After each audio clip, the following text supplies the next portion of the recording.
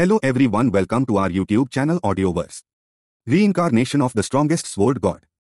Chapter 1551 to 1560 Zero Wing के देदीप्यमान guild hall के अंदर.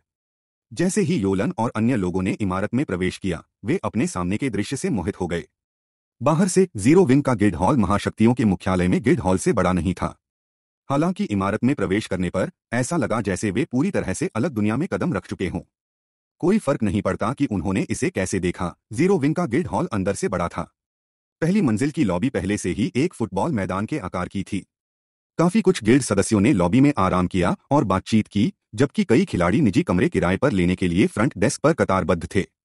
एक खोज हॉल, जो केंद्रीय कक्ष से भी बड़ा था, लॉबी के बगल में स्थित था। कई गिल्ड सदस्यों ने खोज हॉल पर कब्जा कर लिया, क्योंकि वे लेने के लिए उपयुक्त खोजों की खोज कर रहे थे। उच्च श्रेणी के व्यक्तिगत अन्वेषणों और उच्च श्रेणी के टीम अन्वेषणों के विनिर्देशों को छत से लटकी हुई बड़ी स्क्रीनों पर बारी बारी से प्रदर्शित किया गया, जिसमें उपलब्ध अन्वेषणों की आश्चर्यजनक संख्या एक थी। यह एक तीन सितारा गिल्ड निवास है। जब उसने खोज हॉल के बड़े स्क्रीन देखे तो आपन बुरी तरह मुस्कुराई। अंडरवर्ल्ड ने अपनी गिल्ड लोकप्रियता को बढ़ाने की पूरी कोशिश की थी, फिर भी इसके प्रयास के बावजूद इसके सर्वश्रेष्ठ गिल्ड निवास ने प्रतिदिन पाँच से छह सौ उच्च श्रेणी वाले व्यक्तिगत खोज और एक सौ या इतनी उच्च रैंक टीम खोज प्रदान की। इतनी कम संख्या के साथ, यहाँ तक कि अंडरवर्ल्ड के मुख्य सदस्यों को भी हर दिन एक उच्च रैंक खोज प्राप्त करने की गारंटी नहीं थी। इसके विपरीत, ज़ीरो विन उच्च श्रेणी के अन्वेषणों से भर गया था। वर्तमान में 2200 से अधिक व्यक्तिगत खोज और 400 टीम अन्वेषण उपलब्ध थे। इतने सारे के साथ, यहाँ तक कि गिल्ड के कुलीन सदस्यों के पास एक उच्च रैंक खोज लेने का अवसर था। साधारण गिल्ड अन्वेषणों के विपरीत, जो आमतौर पर सिक्के ई एक्सपी और जीसीपीस प्रदान करते थे, खिलाड़ियों के पास उच्च रैंकिंग अन्वेषणों से दुर्लभ वस्तुएँ प्राप्त करने का अवसर था। इसके अलावा, इन खोजों ने बहुत अधिक मौद्रिक इनाम की पेशकश की। खिलाड़ी गिल्ड की लोकप्रियता बढ़ाने में भी मदद कर सकते हैं। यदि ज़ीरो विन के पास उच्च श्रेणी के अन्वेषणों की इतनी बड़ी आपूर्ति होती तो यह अधिक गिल्ड सदस्यों को विकसित कर सकता था। लंबे समय में, ज़ीरो विन के सदस्यों और अन्य गिल्डों में खिलाड़ियों के बीच का अंतर बढ़ेगा। यह वह जगह है जहाँ आप पंजीकरण प्रक्रियाओं को पूरा करेंगे। आपको बस यहाँ पंजीकरण करने की आवश्यकता है और आप ज़ीरो विंग के सदस्य बन जाएँगे, अथर्व ने यूलन के समूह को गिल्ड के पंजीकरण काउंटर तक ले जाते हुए समझाया। जहाँ तक आपकी रैंक की बात है, आप सभी सामान्य सदस्यों के रूप में शुरुआत करेंगे। फिर आपको एक निश्चित मात्रा में जीसीपी जमा करने होंगे और गिल्ड के रैंकों के माध्यम से ऊपर उठने के लिए उपयुक्त परीक्षाएँ पास करनी होंगी। हालाँकि चूँकि मैंने आपको व्यक्तिगत रूप से आमंत्रित किया है, इसलिए हम जीसीपी की आवश्यक संख्या छोड़ सकते हैं। हम केवल परीक्षा में आपके प्रदर्शन के आधार पर आपकी रैंक निर्धारित करेंगे। ज़ीरो विंग में एक कुलीन सदस्य बनने के लिए आपको ट्रायल टावर की पांचवीं मंजिल के शुरुआती चरण में पहुँचना होगा। जहाँ तक कोर मेंबर बनने की बात है तो आपको छठी मंजिल की मिडिल स्टेज में पहुँचना होगा। अथर्व की मांगों को सुनकर योलन और उसके साथी हांफने लगे। सामान्य खिलाड़ियों के लिए एक खिलाड़ी एक विशेषज्ञ होगा यदि वे ट्रायल टावर की चौथी मंजिल तक पहुँच सकते हैं। यदि कोई खिलाड़ी पांचवीं मंजिल तक पहुँच सकता है तो उन्हें सार्वजनिक रूप से एक विशेषज्ञ के रूप में स्वीकार किया जाएगा। फिर भी ज़ीरो विन के लिए आवश्यक है कि खिलाड़ी एलीट सदस्य बनने के लिए पांचवीं मंजिल तक पहुँचे। एक मुख्य सदस्य बनने की आवश्यकता और भी भयानक थी। वास्तव में खिलाड़ियों को छठी मंजिल के मध्य चरण तक पहुँचने की आवश्यकता थी। यहाँ तक कि पहले दर्जे के गिल्ड के मुख्य बल के सदस्य मुश्किल से ज़ीरो विंग के मुख्य सदस्य बनने के योग्य होंगे। गिल्ड्स ने इन विशेषज्ञों को उनके मुख्य सदस्यों में से चुना, फिर भी ज़ीरो विंग में कोर सदस्य बनने के लिए यह न्यूनतम आवश्यकता थी। योलन और अन्य लोगों ने महसूस किया कि शर्मिंदगी के कारण पसीने की बूंदें उनकी त्वचा से नीचे सरक रही हैं। उनके समूह के लगभग दर्जन भर विशेषज्ञों में से केवल योलन और डार्क आई ने आवश्यकताओं को पूरा किया। उनका बाकी समूह थोड़ा कमज़ोर था। उनमें से सर्वश्रेष्ठ केवल पांचवीं मंजिल के अंतिम चरण में पहुँचे थे। Guild leader Black Flame lifestyle खिलाड़ियों के बारे में क्या? योलन के पीछे दर्जन भर लाइफस्टाइल खिलाड़ी ने घबराकर पूछा। वे लाइफस्टाइल खिलाड़ी थे। हालाँकि कुछ लाइफस्टाइल खिलाड़ी स्वीकार्य सेनानी थे, ये खिलाड़ी नहीं थे। आराम करना। गिल्ड में शामिल होने वाले लाइफस्टाइल खिलाड़ियों के लिए एक अलग परीक्षा होती है। लेकिन वह परीक्षण कैंडल लाइट ट्रेडिंग फर्म में आयोजित किया जाता है, अथर्व ने समझाया। दर्जन भर लाइफस्टाइल खिलाड़ियों ने राहत की सांस ली। वे उन्नत जीवन शैली के खिलाड़ी थे, जिन्हें योलन ने पाला पोसा था। हालाँकि वे युद्ध में अच्छे नहीं थे, लेकिन जब उपवर्ग मानकों की बात आती थी तो वे शीर्ष पर थे। हालाँकि जब उन्होंने अथर्व के अगले शब्द सुने तो उनका दम घुट गया। उपवर्गों के लिए जो उन्नत रैंक पर पहुँच गए हैं, वे कैंडल लाइट के आधिकारिक सदस्य बन जाएँगे। एक मुख्य सदस्य बनने के लिए आपको उन्नत वस्तुओं के साथ 30 परसेंट की व्यावहारिक सफलता दर हासिल करनी होगी। गॉड्स डोमेन में, उन्नत उपवर्गों में, उन्नत मदों के साथ केवल लगभग 35 परसेंट सैद्धांतिक सफलता दर थी। हालाँकि व्यावहारिक प्रतिशत बहुत कम था। योलन के उन्नत जीवन शैली के अधिकांश खिलाड़ियों की व्यावहारिक सफलता दर केवल 25 परसेंट थी। उनकी सफलता दर को एक परसेंट तक बढ़ाने के लिए उनके तकनीक मानकों को थोड़ा सा परिष्कृत करने की आवश्यकता होगी। पाँच परसेंट की वृद्धि तो दूर की बात है। यूलान भी हैरान रह गया। उसने महसूस किया कि यह आवश्यकता कुछ अधिक ही थी। वह उपवर्गों के लिए कोई अजनबी नहीं थी। आखिरकार, वह कुछ समय से अंडरवर्ल्ड की ट्रेडिंग फर्मों की देखरेख कर रही थी। उसे गॉड्स डोमेन के उपवर्गों की वर्तमान स्थिति की अपेक्षाकृत स्पष्ट समझ थी। जिन दर्जन भर लाइफस्टाइल खिलाड़ियों ने उसका अनुसरण किया था, वे उत्पादन मानकों के मामले में अंडरवर्ल्ड के शीर्ष लाइफस्टाइल खिलाड़ियों में शुमार हो सकते हैं। वे संगठन के शीर्ष रैंक वाले लाइफस्टाइल खिलाड़ियों की तुलना में थोड़े ही कमज़ोर थे, फिर भी ज़ीरो विंग में वे मुख्य सदस्य बनने की आवश्यकता को भी पूरा नहीं करते थे। ठीक है, हम आज कीमियागरों के लिए एक प्रदर्शन मूल्यांकन कर रहे हैं। यदि आप में कोई कीमियागर हैं जो भाग लेना चाहते हैं तो मैं आपको थोड़ी देर में वहाँ ले जाऊँगा। यदि आप शीर्ष दस में रैंक करते हैं तो आपको एक मुख्य सदस्य के रूप में पदोन्नत किया जाएगा। यदि आप पर्याप्त रूप से उच्च रैंक करते हैं तो आपको एक निश्चित अवधि के लिए डार्क गोल्ड एल्केमी टूल का एक सेट भी उपयोग करने को मिल सकता है। मुख्य कीमियागर के पास एक बुनियादी ध्यान कक्ष को लंबे समय तक उपयोग करने का भी अधिकार होगा। ये लाभ निश्चित रूप से आपको मास्टर रैंक तक पहुँचने में मदद करेंगे। आप टाइटन सिटी भी जा सकेंगे, अथर्व ने कहा। जब समूह के लाइफस्टाइल खिलाड़ियों ने यह सुना तो उनकी आँखों में एक उग्र जुनून प्रज्वलित हो गया। दुर्भाग्य से उनमें से कुछ कीमियागर थे। अन्यथा, वे निश्चित रूप से इस मूल्यांकन में प्रतिस्पर्धा करेंगे। जवाब में, एक सफ़ेद बालों वाला बुज़ुर्ग समूह से दूर चला गया। उन्होंने अथर्व को देखकर मुस्कुराया और कहा, यह दिलचस्प है। क्या यह बूढ़ा भी भाग ले सकता है? मास्टर आकांक्षा भाग लेने जा रही है। योलन ने बूढ़े आदमी को एक भ्रमित रूप दिया। वर्चुअल गेमिंग की दुनिया में साइलेंट एस्पिरेशन काफ़ी मशहूर था। जबकि वह स्टार मून किंगडम में रहता था। उसने इंटरमीडिएट अल्केमिस्ट होने के बावजूद फायर ड्रैगन पोशन बनाया था।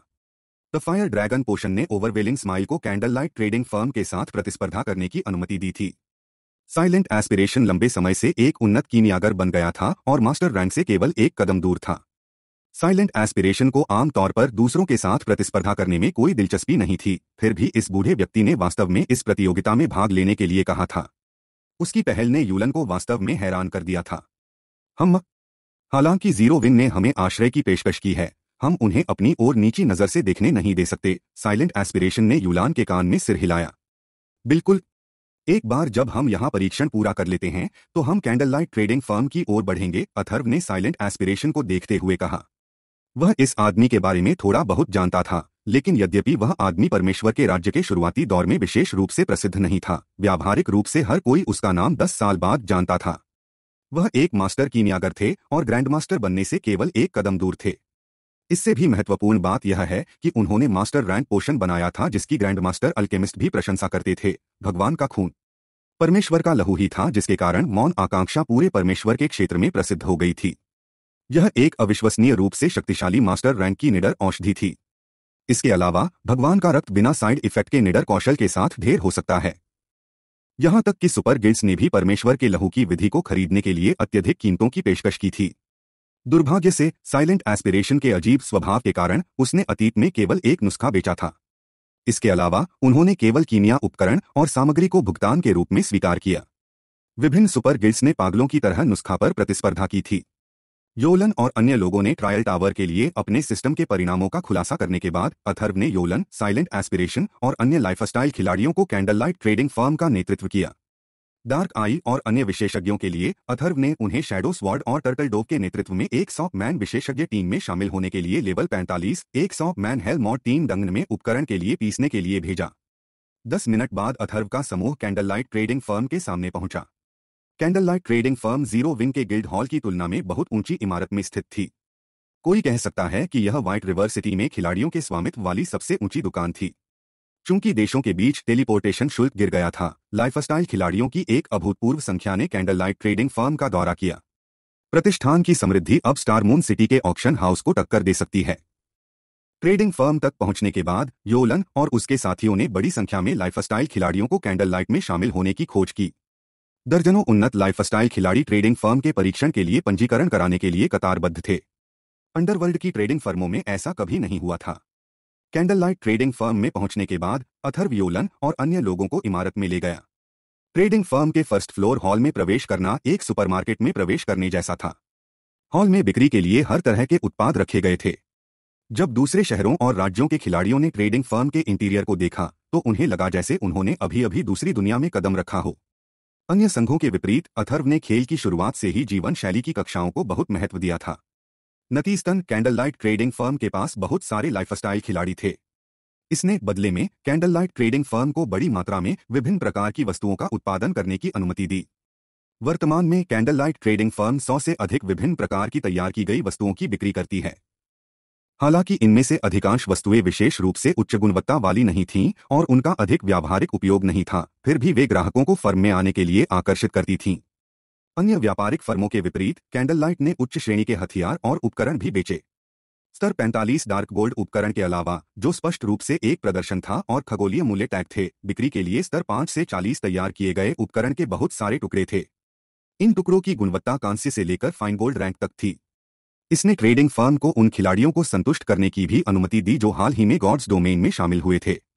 इस बीच खिलाड़ियों ने लगातार स्तर 40 के हथियारों और उपकरणों को बेचने वाले काउंटरों पर भीड़ लगाई। हालाँकि बाज़ार में 40 स्तर के कुछ हथियार और उपकरण थे, फिर भी सीक्रेट सिल्वर और फाइन गोल्ड रैंक के आइटम काफ़ी दुर्लभ थे।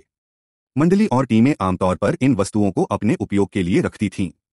यहाँ तक कि जब वे इन वस्तुओं को बेचना चुनते हैं, तब भी वे आमतौर पर बाज़ार मूल्य से कहीं अधिक मूल्य निर्धारित करते हैं।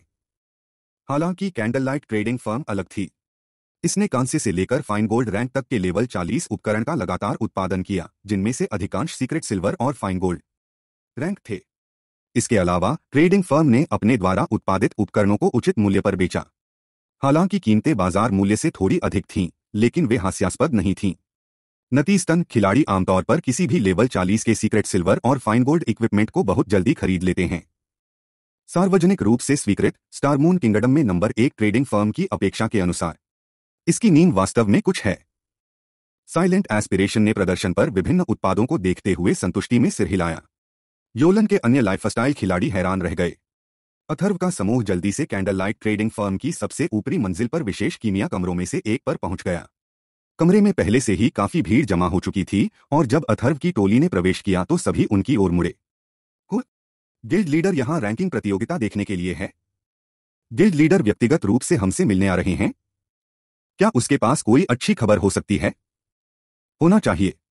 क्या आपने नहीं सुना कि ज़ीरो विंग सिटी का निर्माण पूरा हो गया है? हो सकता है कि वह वहाँ कैंडल लाइट ट्रेडिंग फर्म का प्रबंधन करने के लिए लोगों की तलाश कर रहा हो। आखिरकार मैनेजर मिलानचोलिक इतने सारे स्थानों को अकेले नहीं संभाल सकती।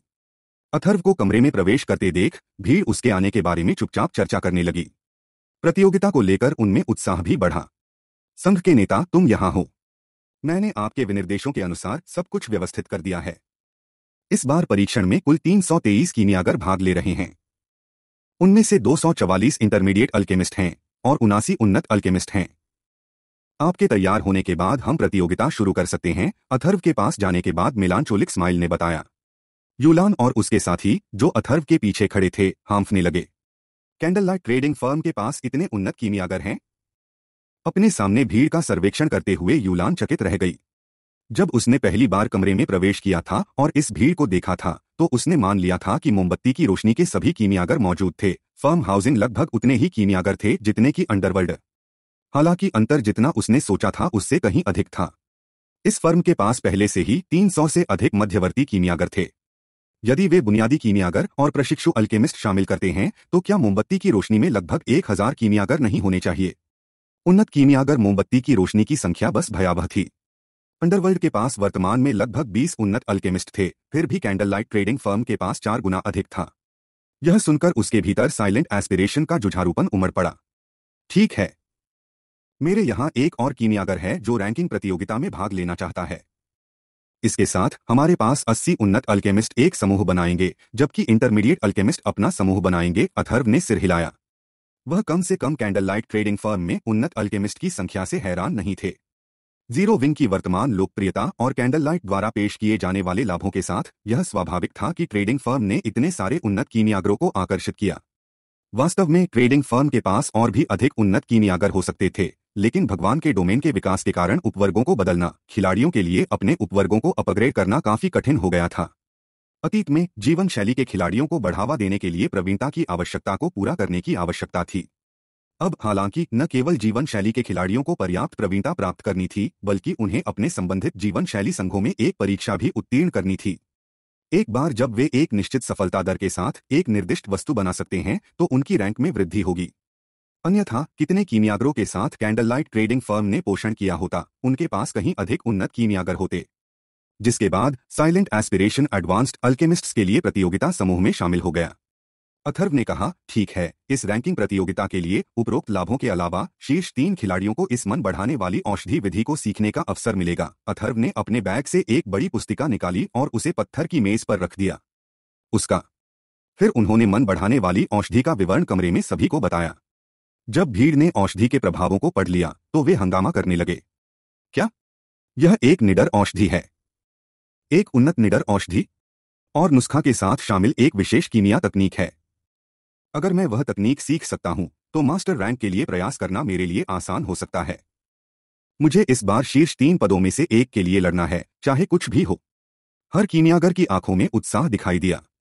यहाँ तक कि साइलेंट एस्पिरेशन, जो प्रतियोगिता के बारे में बहुत ज़्यादा उत्साहित नहीं लग रहा था, ने मन बढ़ाने वाली औषधि को देखने के बाद बहुत रुचि दिखाई।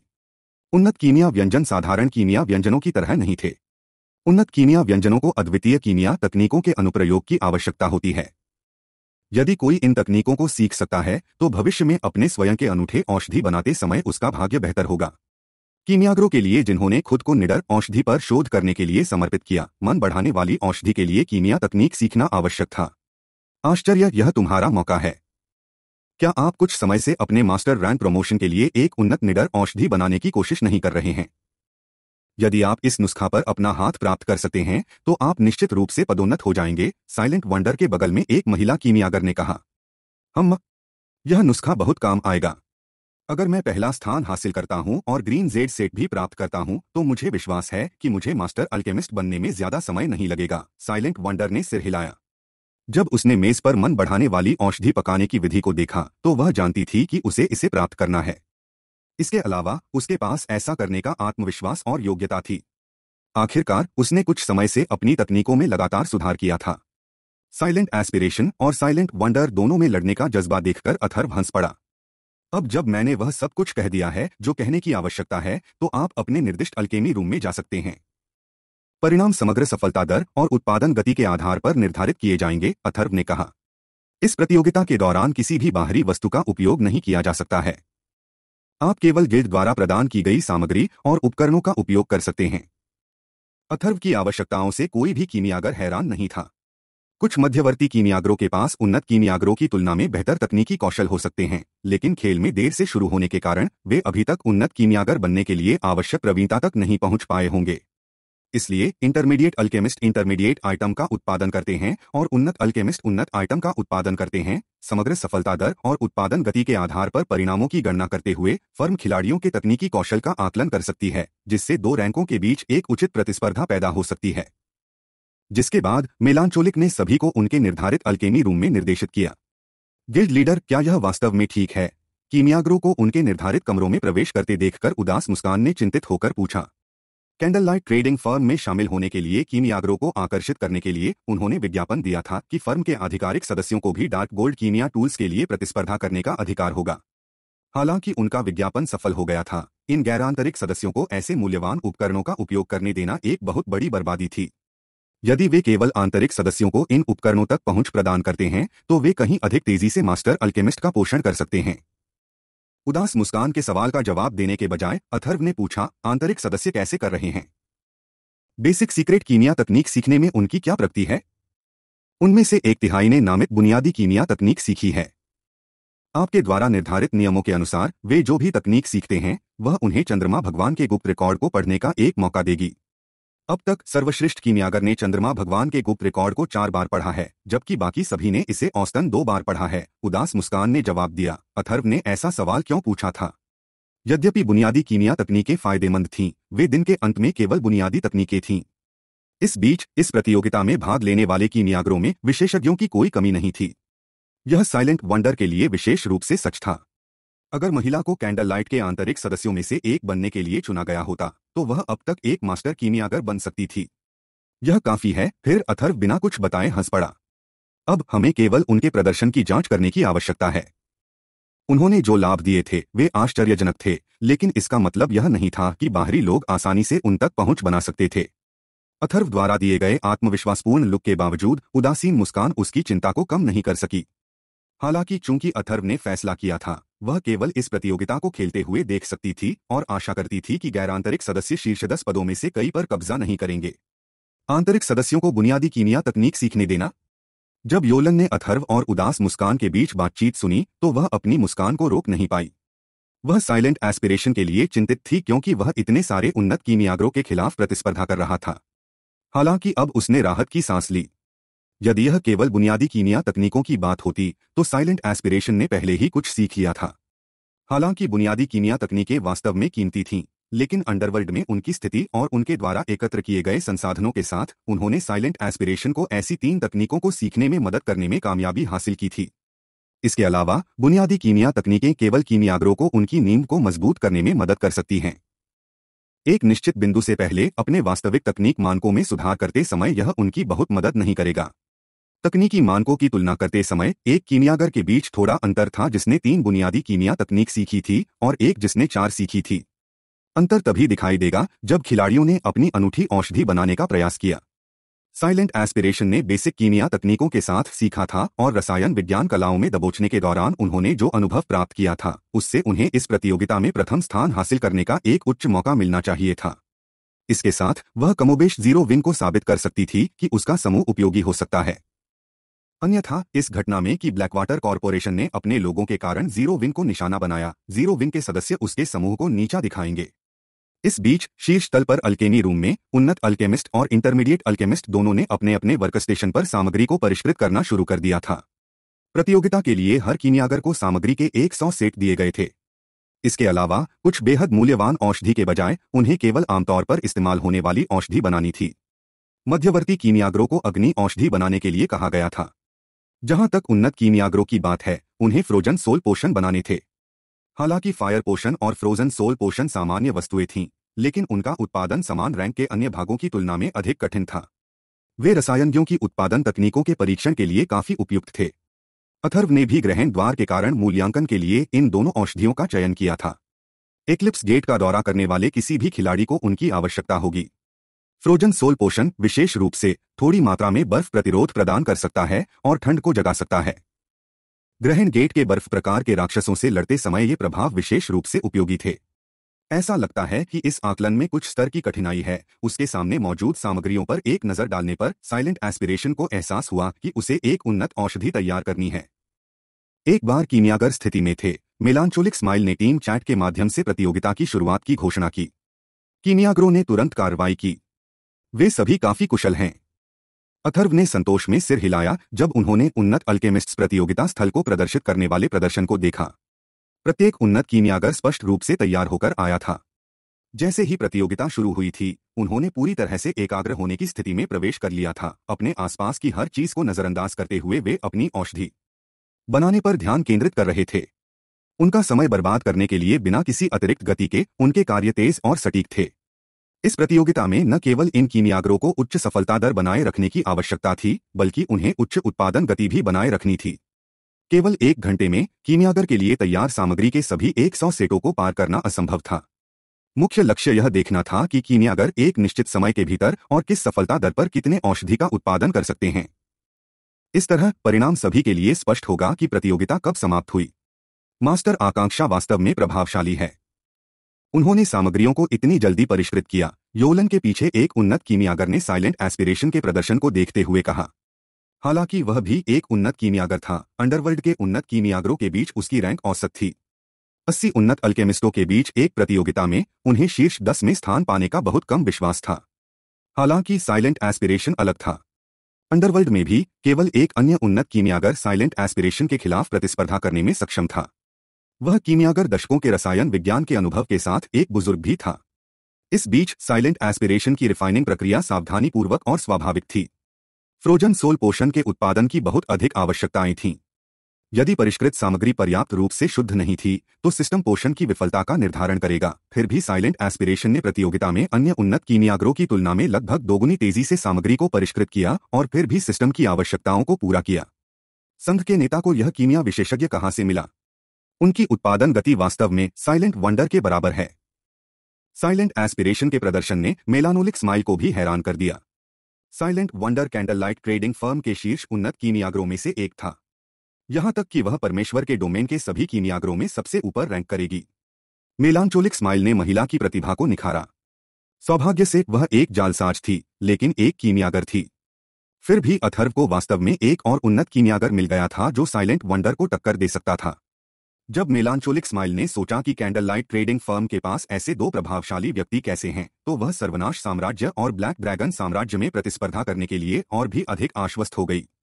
यहाँ तक कि कैंडल लाइट ट्रेडिंग फर्म की कीमिया इतनी मज़बूत है। इस बीच, योलन साइलेंट वंडर के प्रदर्शन से चकित हुए बिना नहीं रह सका। कैंडल लाइट ट्रेडिंग फर्म अपने फोर्जिंग मानकों के कारण प्रसिद्ध हो गई थी। यह संभावना थी कि फोर्जिंग में स्टारमून किंगडम की कोई भी शक्ति मोमबत्ती की रोशनी को पार नहीं कर सकती थी। यहाँ तक कि पूरे गॉड्स डोमेन में कैंडल लाइट के फोर्जिंग मानक बहुत शीर्ष पर रैंक करेंगे। आखिरकार उसने अंडरवर्ल्ड में जो जानकारी एकत्र की थी, उसके आधार पर वह जानती थी कि फर्म के पास कम से कम एक मास्टर फोरगर ब्लैक फ्लेम था। मास्टर लाइफस्टाइल खिलाड़ी गॉड्स डोमेन के वर्तमान उपवर्गों के शीर्ष पर खड़े थे। उसे प्राप्त रिपोर्टों के आधार पर केवल तीन खिलाड़ी थे, जिनकी ब्लैक फ्लेम सहित गॉड्स डोमेन में मास्टर फोर्जर्स के रूप में पुष्टि की गई थी। इसके अलावा इन तीन लोगों में से एक को हाल ही में पदोन्नत किया गया था। उसने कभी उम्मीद नहीं की थी कि कैंडल लाइट ट्रेडिंग फर्म कीनिया में भी इतनी प्रभावशाली होगी। इसके अलावा, साइलेंट वंडर अभी भी बहुत छोटा था। हालाँकि योलन खुद एक कीमियागर नहीं थी, फिर भी वह बता सकती थी कि साइलेंट वंडर के अलावा अन्य उन्नत अल्केमिस्ट के मानक बहुत ऊँचे थे।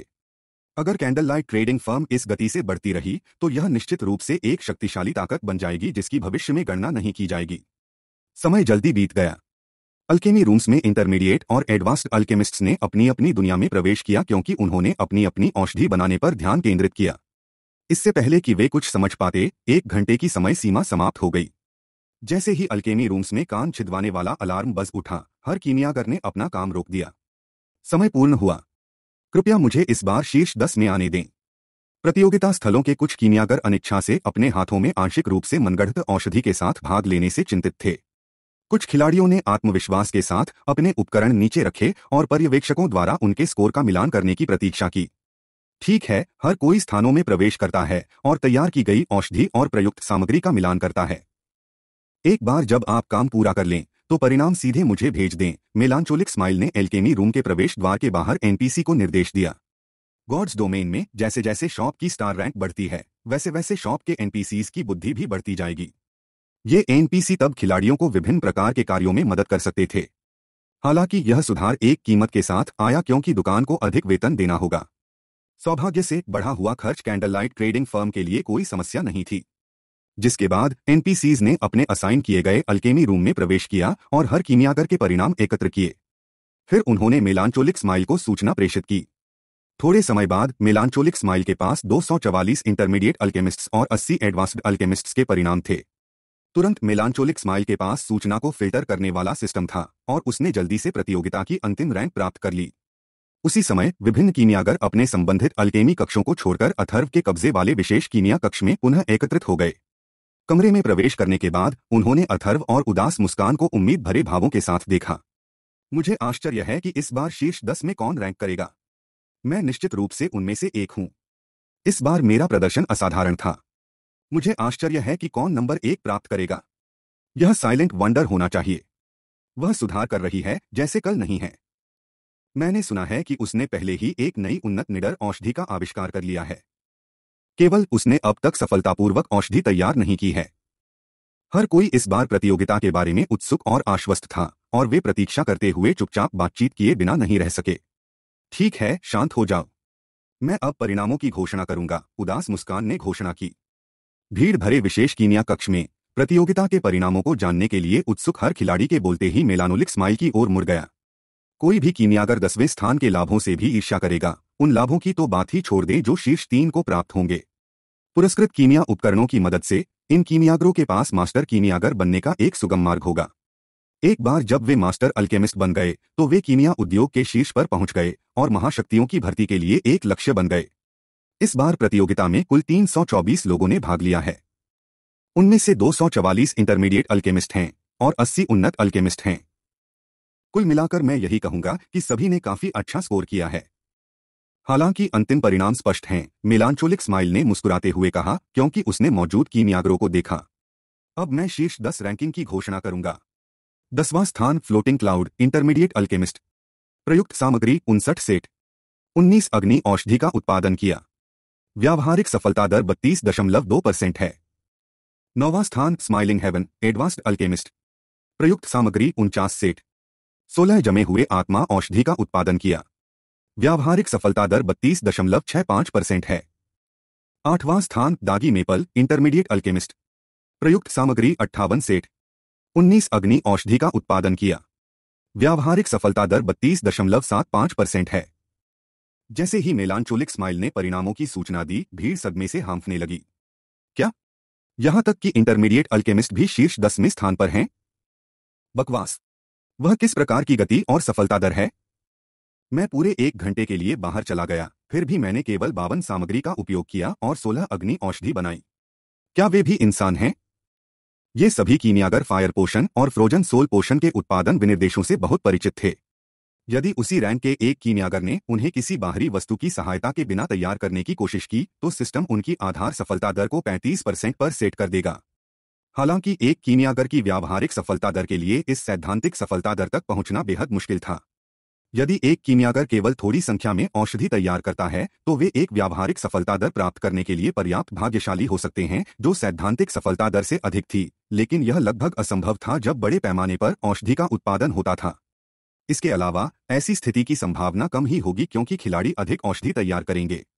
इसलिए, जब किसी प्रतियोगिता में प्रतिस्पर्धा करने के लिए सामग्री के 50 से 100 सेट की आवश्यकता होती है तो किसी को अपनी वास्तविक क्षमताओं पर भरोसा करना पड़ता है। ऐसी प्रतियोगिताओं में किस्मत का बहुत कम प्रभाव पड़ता है। इसके अलावा, यदि कोई उच्च सफलता दर बनाए रखना चाहता है तो उच्च उत्पादन गति को बनाए रखना बेहद कठिन था। आखिरकार, जितनी जल्दबाजी होगी, उतनी ही अधिक संभावना है कि वे गलतियाँ करेंगे। यह बदले में कम सफलता दर के परिणाम स्वरूप हुआ। इस प्रतियोगिता में खिलाड़ियों को सबसे पहले उनके द्वारा बनाए गए औषधियों की संख्या के आधार पर आका गया था। उनकी सफलता दर माध्यमिक थी।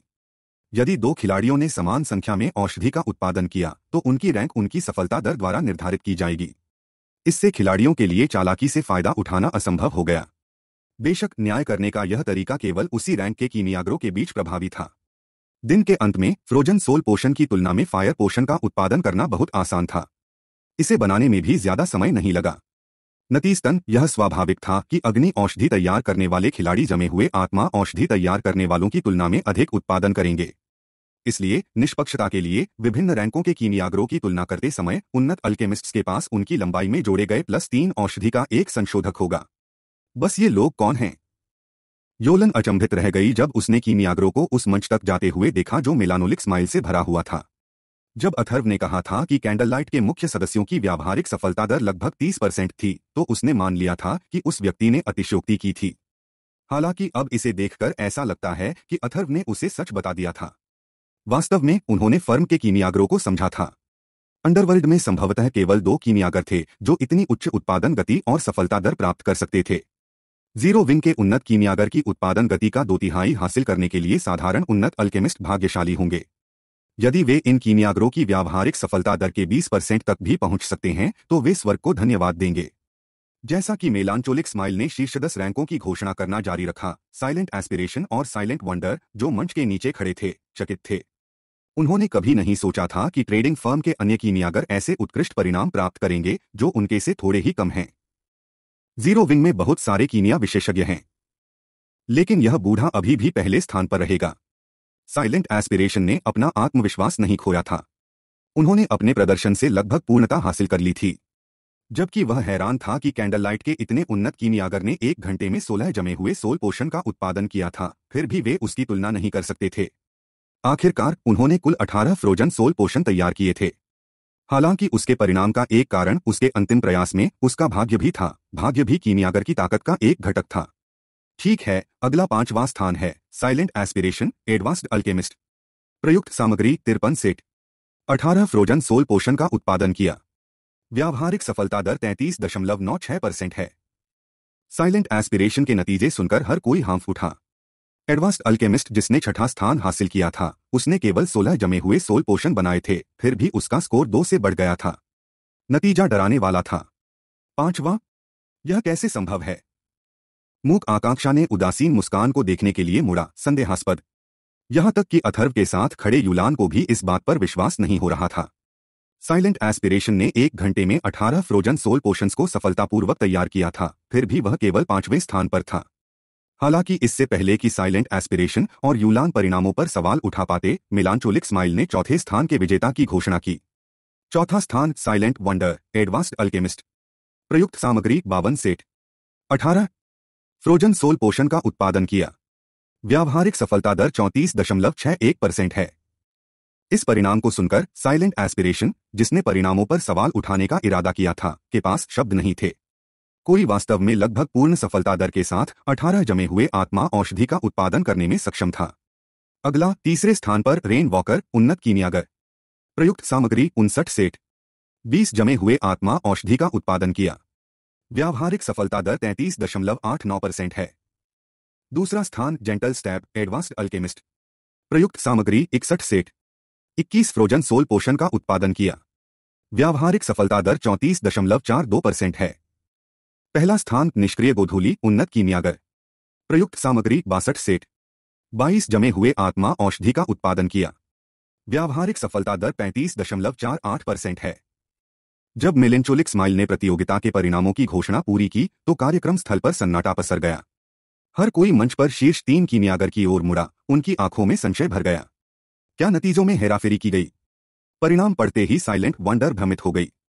इस प्रतियोगिता में उनकी उत्पादन गति अब तक की सर्वश्रेष्ठ थी। एक घंटे में बावन प्रयास पूरे किए। वह मूल रूप से हर मिनट या तो एक प्रयास था। उसकी सफलता दर पूर्णता के और भी करीब थी। फिर भी उसके ऊपर रैंक करने वाले तीन कीमियागरों में से दो ने प्रत्येक प्रयास पर एक मिनट से भी कम समय लगाया था। एक ने सफलता दर भी हासिल कर ली थी, जो सिस्टम की सैद्धांतिक सफलता दर से अधिक थी। उसके लिए यह कल्पना करना कठिन था कि ये लोग संभवतः ऐसे परिणाम कैसे प्राप्त कर सकते थे। एकमात्र संभावना जिसके बारे में वह सोच सकती थी, वह यह थी कि उन्होंने धोखा दिया था और कीमिया उपकरणों का उपयोग किया था जिससे उनकी उत्पादन गति और सफलता दर में वृद्धि हुई थी। ऐसे विचारों वाला साइलेंट वंडर अकेला नहीं था। साइलेंट एस्पिरेशन और योलन एक ही निष्कर्ष पर पहुँचे थे।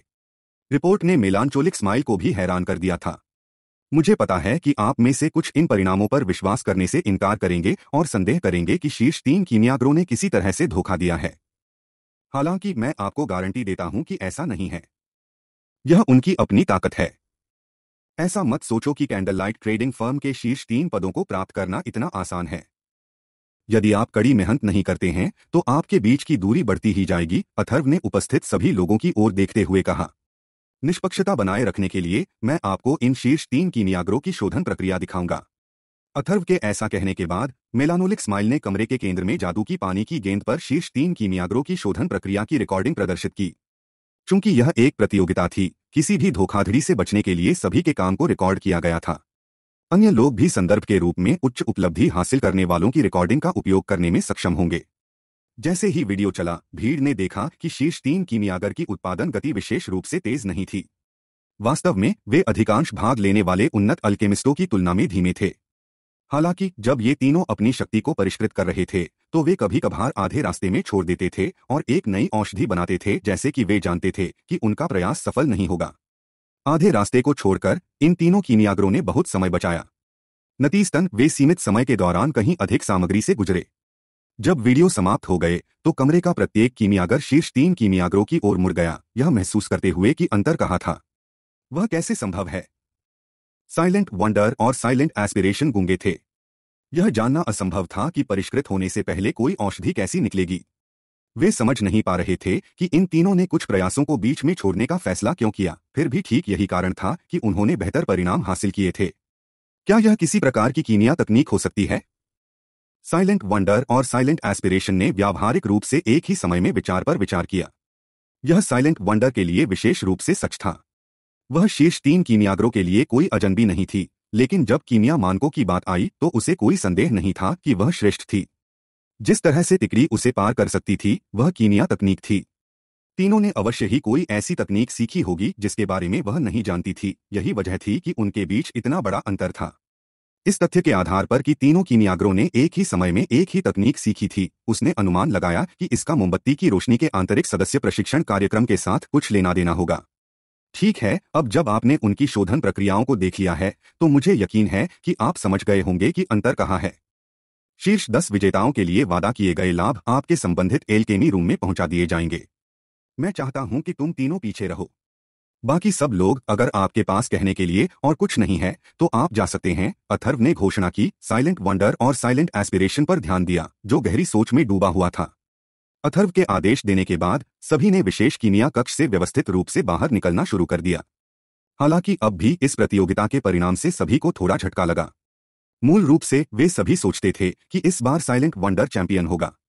उन्होंने कभी नहीं सोचा था कि वह वास्तव में शीर्ष टीम में भी जगह बनाने में असफल हो जाएँगी। इसके अलावा उसके परिणामों और तीसरे स्थान के विजेता के परिणामों के बीच एक बड़ा अंतर था। यह बिल्कुल अविश्वसनीय था। हालाँकि, जैसा कि अथर्व ने कहा था, उन्होंने वास्तव में कैंडल लाइट ट्रेडिंग फर्म की नींद को कम करके आका था। आंतरिक सदस्यों और आधिकारिक सदस्यों द्वारा प्राप्त समर्थन के बीच का अंतर उनकी अपेक्षा से कहीं अधिक था। अब जाकर सबको समझ में आया कि अथर्व ने यह क्यों घोषित किया था कि आधिकारिक सदस्य भी इस प्रतियोगिता में भाग ले सकते हैं। सबसे अधिक संभावना है, शुरू से ही अथर्व ने कभी नहीं सोचा था कि कैंडल लाइट के आधिकारिक सदस्यों में शीर्ष कुछ पदों के लिए प्रतिस्पर्धा करने की क्षमता है। इसलिए उन्होंने साहसपूर्वक आधिकारिक सदस्यों को बिना किसी प्रतिबंध के प्रतियोगिता में भाग लेने की अनुमति दी थी। हालाँकि शीर्ष दस पदों के लिए लाभ काफ़ी अच्छा था, उनके बीच गुणात्मक अंतर था और शीर्ष तीन विजेताओं ने जो प्राप्त किया था। गॉड्स डोमेन में सीक्रेट सिल्वर कीनिया उपकरण वास्तव में बहुत दुर्लभ थे, लेकिन विभिन्न बड़े संघों में आमतौर पर कुछ टुकड़े होते थे। हालाँकि फाइन गोल्ड रैंक वाले ओशन ग्लो सेट और डार्क गोल्ड रैंक वाले ग्रीन जेड सेट के मामले में वे ऐसी चीज़ें नहीं थीं जो किसी भी गिल्ड के पास होंगी। यहाँ तक कि सुपर गिल्ड भी इन कीमती खजानों को प्राप्त करने में सक्षम नहीं होंगे। इन शीर्षस्तरीय कीनिया उपकरणों की सहायता से निश्चित रूप से एक नई औषधि बनाने की संभावना बहुत अधिक होगी। इस बीच जब सभी जा रहे थे, साइलेंट वंडर अचानक अथर्व के पास गया। क्या चल रहा है? क्या साइलेंट वंडर प्रतियोगिता के परिणामों के बारे में शिकायत करने की कोशिश कर रहा है? ऐसा नहीं होना चाहिए। उसने वीडियो भी देखे होंगे। वास्तव में परिणामों को लेकर कोई समस्या नहीं है। डॉर्मेंट ट्वाइलाइट और अन्य ने वास्तव में निष्पक्ष और वर्ग प्रतियोगिता जीत ली। इसके अलावा, परिणाम अगले कुछ प्रतियोगिताओं के लिए समान रहने की संभावना है। यह वास्तव में आपको आश्चर्यचकित करता है कि वे इतनी जल्दी कैसे सुधार करने में कामयाब रहे। मुझे याद है कि कुछ समय पहले डॉर्मेंट ट्वाइलाइट और अन्य दो साइलेंट वंडर से काफ़ी कमतर थे। मुझे कैसे पता होना चाहिए? हालाँकि इसका ट्रेडिंग फर्म के आंतरिक सदस्य प्रशिक्षण कार्यक्रम से कुछ लेना देना होना चाहिए। यह अफसोस की बात है कि मेरे पास इससे जुड़ने की ताकत नहीं है। साइलेंट वंडर को देखते हुए हर कोई आपस में एक शांत चर्चा शुरू किए बिना नहीं रह सका। गिल्ड लीडर, क्या मैं आपसे एक सवाल पूछ सकता हूँ? साइलेंट वंडर ने अथर्व को गंभीरता से देखते हुए पूछा। एक प्रश्न साइलेंट वंडर के चेहरे पर गंभीर भाव देखकर अथर्व मुस्कुराया और जवाब दिया, ज़रूर पूछो। एक गहरी सांस लेने के बाद साइलेंट वंडर ने कहा, मैं कीमिया तकनीक डॉर्मेंट के बारे में पूछना चाहता हूँ और अन्य लोगों ने सीखा है। क्या इस तकनीक को गिल्ड का आंतरिक सदस्य बनकर सीखा जा सकता है? कुछ हद तक हाँ मामले पर कुछ विचार करने के बाद अथर्व ने उत्तर दिया। सच तो यह है कि अथर्व तीनों के प्रदर्शन से खुद हैरान था। उसने कभी नहीं सोचा था कि वे मून गॉड्स सीक्रेट जर्नल को पढ़कर इतनी महत्वपूर्ण फ़सल प्राप्त करेंगे। The moon gods secret journal वास्तव में एक कीमिया खजाना था। हालाँकि यह तीन खंडों का एक सेट था और उन्होंने सेट का केवल पहला वॉल्यूम प्राप्त किया था, जिसमें केवल गॉड्स डोमेन में उपलब्ध विभिन्न सामग्रियों की जानकारी थी। यह सामग्री के लिए एक विश्वकोश की तरह था। वॉल्यूम के अंदर कोई कीमिया तकनीक दर्ज नहीं की गई थी। इस बीच चंद्रमा भगवान के गुप्त कक्ष से प्राप्त बुनियादी कीमिया तकनीकों में से किसी में भी डॉर्मेंट वाइलाइट तकनीक नहीं थी और अन्य ने इसका इस्तेमाल किया था। अथर्व के जवाब ने सभी को अवाक कर दिया। कुछ हद तक से उनका क्या मतलब था? क्या वे कीमिया तकनीक सीख सकते थे या नहीं सीख सकते थे? फिर जब तक मैं कैंडल लाइट का एक आंतरिक सदस्य बन जाता हूँ, क्या मैं निष्क्रिय तकनीकों को सीख पाऊँगा और अन्य भी सीख रहे हैं? साइलेंट वंडर बस अपने दिमाग को डॉर्मेंट ट्वाइलाइट तकनीक के चारों ओर लपेट नहीं सका और अन्य ने प्रतियोगिता के दौरान प्रदर्शित किया था। प्रतियोगिता के दौरान उनका हर कार्य बहुत सामान्य था, इतना कि उन्होंने किसी बुनियादी कीमिया तकनीक का भी उपयोग नहीं किया और केवल सामान्य रूप से औषधि का निर्माण किया। हालाँकि अंत में उन्होंने जो परिणाम हासिल किए, वे अभी भी उससे बहुत आगे थे। इस समय यह ऐसा था जैसे उसने डॉर्मेंट ट्वाइलाइट और अन्य में एक नई दुनिया देखी हो। खुद जैसी कीमिया के दीवाने के लिए ऐसी रहस्यमय और अद्भुत तकनीक का अध्ययन न करना उसके लिए यातना देने जैसा होगा। गिल्ड लीडर ब्लैक फ्लेम, अगर यह बूढ़ा भी कैंडल लाइट का आंतरिक सदस्य बन जाता है तो क्या मैं ऐसी कीमिया तकनीकों का भी अध्ययन कर पाऊँगा? मूक आकांक्षा, जिसने इस समय अपनी ही सलाह रखी थी, अचानक आगे बढ़ी और अथर्व से पूछा। मास्टर आकांक्षा, यूलान इस दृश्य को देखकर दंग रह गए। यहाँ तक कि जब साइलेंट एस्पिरेशन अंडरवर्ल्ड में था, तब भी वह एक बार भी इसके प्रलोभनों के आगे नहीं झुके थे। अंडरवर्ल्ड ने जो कुछ भी करने की कोशिश की, वह साइलेंट एस्पिरेशन को संगठन में बांधने में सफल नहीं हुआ, क्योंकि बूढ़े आदमी ने प्रतिबंधों से बंधे होने का तिरस्कार किया। फिर भी अब साइलेंट एस्पिरेशन वास्तव में कुछ कीमिया तकनीकों के लिए ऐसी प्रतिबंधात्मक शर्तों को स्वीकार करने के बारे में सोच रहा था। योलन वास्तव में आश्चर्यचकित हुए बिना नहीं रह सका कि वास्तव में किस प्रकार की कीमिया तकनीक साइलेंट एस्पिरेशन जैसे मास्टर में एक जुनून को प्रेरित कर सकती है। मैं इस बात की गारंटी नहीं दे सकता कि आप सभी उस कीमिया तकनीक को सीखेंगे जिसके बारे में आप बात कर रहे हैं। मैं केवल इतना कह सकता हूँ कि आप कैंडल लाइट के आंतरिक सदस्य बनने के बाद कितना सीखते हैं, यह आप पर निर्भर करेगा। अथर्व इन दोनों लोगों की कीमिया तकनीक के लिए तड़प देख सकता था। हालाँकि वह वास्तव में गारंटी नहीं दे सकता था कि वे उस तकनीक को सीखेंगे जिसका उन्होंने उल्लेख किया है। यह पूरी तरह से इस बात पर निर्भर करता था कि वे मून गॉड्स सीक्रेट जर्नल से कितना सीख सकते हैं और वे उस ज्ञान को कितनी अच्छी तरह उपयोग करने में सक्षम होंगे। अथर्व का जवाब सुनकर साइलेंट वंडर और साइलेंट एस्पिरेशन हिचकिचाए बिना न रह सके। चूँकि यह मामला है, मैं शामिल हो जाऊँगा मामले पर कुछ और विचार करने के बाद साइलेंट वंडर ने फिर भी अंत में कैंडल लाइट का आंतरिक सदस्य बनना चुना। हालाँकि वह नहीं जानती थी कि आंतरिक सदस्यों को किस तरह का उपचार मिला है। जब उसने देखा कि डॉर्मेंट ट्वाइलाइट और अन्य लोगों में कितना सुधार हुआ है तो वह चिंतित होने से खुद को रोक नहीं पाई। आखिरकार तिकड़ी के आंतरिक सदस्य बनने के बाद इतना कम समय बीतने के बावजूद उनके कीमिया मानक पहले से ही बड़े अंतर से उससे आगे निकल गए थे। उसे यह भी स्वीकार करना पड़ा कि कैंडल लाइट ट्रेडिंग फर्म वास्तव में शक्तिशाली थी। इसके ऐसे फ़ायदे थे जो सुपर गिल्ड्स के पास भी नहीं थे। हालाँकि उसे खुद पर भरोसा था, लेकिन वह अंधी नहीं थी। अगर चीज़ें इसी दर से जारी रहीं तो उनके और डॉर्मेंट ट्वाइलाइट और अन्य के बीच की खाई सबसे अधिक चौड़ी होती रहेगी। यह वह परिणाम नहीं था जिसे वह देखना चाहती थी। इसके अलावा, वह यह जानने के लिए भी बहुत उत्सुक थी कि किस तरह का आइटम आंतरिक सदस्यों को इतने कम समय में इतना बेहतर बनाने में मदद कर सकता है। दिलचस्प। यह बूढ़ा भी शामिल हो जाएगा। साइलेंट वंडर और डॉर्मेंट ट्वाइलाइट के समूह पर नज़र डालते ही साइलेंट एस्पिरेशन हंस पड़ा। हालाँकि प्रतिबंधों के बिना प्रयोग करने में सक्षम होना अच्छा था। कीमिया विशेषज्ञों के। एक समूह के साथ प्रतिस्पर्धा ने उनकी लंबे समय से खोई हुई लड़ाई की भावना और धार को फिर से जगा दिया था। अब उसका लक्ष्य पहले ही बदल चुका था। भगवान के क्षेत्र में नंबर एक कीमियागर बनने का लक्ष्य रखने के बजाय उसने फैसला किया कि वह पहले कैंडल लाइट ट्रेडिंग फर्म में मुख्य कीमियागर की स्थिति को सुरक्षित करेगा। उसके बाद ही वह ईश्वर के क्षेत्र में नंबर वन अल्केमिस्ट की उपाधि के लिए चुनाव लड़ेगा। गिल्ड लीडर की अपेक्षा के अनुरूप। इससे हमें मोमबत्ती की रोशनी में बेचने के लिए, औषधि की कमी के बारे में चिंता करने की आवश्यकता नहीं होगी। उदास मुस्कान अथर्व की क्षमताओं की आंतरिक रूप से पूजा किए बिना नहीं रह सकती थी। आखिरकार, वह वास्तव में साइलेंट वंडर और साइलेंट एस्पिरेशन जैसे कीमिया विशेषज्ञों को आकर्षित करने में कामयाब रहे, जबकि वे बमुश्किल कुछ भी कर रहे थे। इन दो कीमिया विशेषज्ञों के मानकों के साथ कैंडल लाइट ट्रेडिंग फर्म को बेहद जटिल औषधि बनाने में कोई परेशानी नहीं होगी।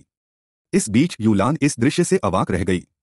अंडरवर्ल्ड ने जितने भी तरीके आजमाए, उसके बावजूद वह साइलेंट एस्पिरेशन को संगठन में शामिल करने में विफल रहा। इस बीच, ज़ीरो विंग ने केवल साइलेंट एस्पिरेशन को एक प्रतियोगिता में भाग लेने की अनुमति दी थी, और पहले से ही मास्टर गिल्ड में शामिल होने की पहल कर रहे थे। अगर अंडरवर्ल्ड के ऊपरी तबके को इस मामले के बारे में पता चलता तो किस तरह की प्रतिक्रिया होती? साइलेंट वंडर और साइलेंट एस्पिरेशन ने आंतरिक सदस्य बनने के अपने इरादे की घोषणा करने के बाद, अन्य उन्नत अल्केमिस्ट जो अभी भी खुद को कैंडल लाइट से जोड़ने के बारे में बाढ़ पर थे। साथ ही साथ शामिल होने का फैसला किया। कीमिया उद्योग में कैंडल लाइट ट्रेडिंग फर्म की क्षमता एक बार फिर बढ़ गई, जिसके बाद अथर्व ने साइलेंट वंडर और अन्य के अनुबंधों को फिर से शुरू करने के साथ साथ आंतरिक सदस्यों को मिलने वाले लाभों के बारे में बताया।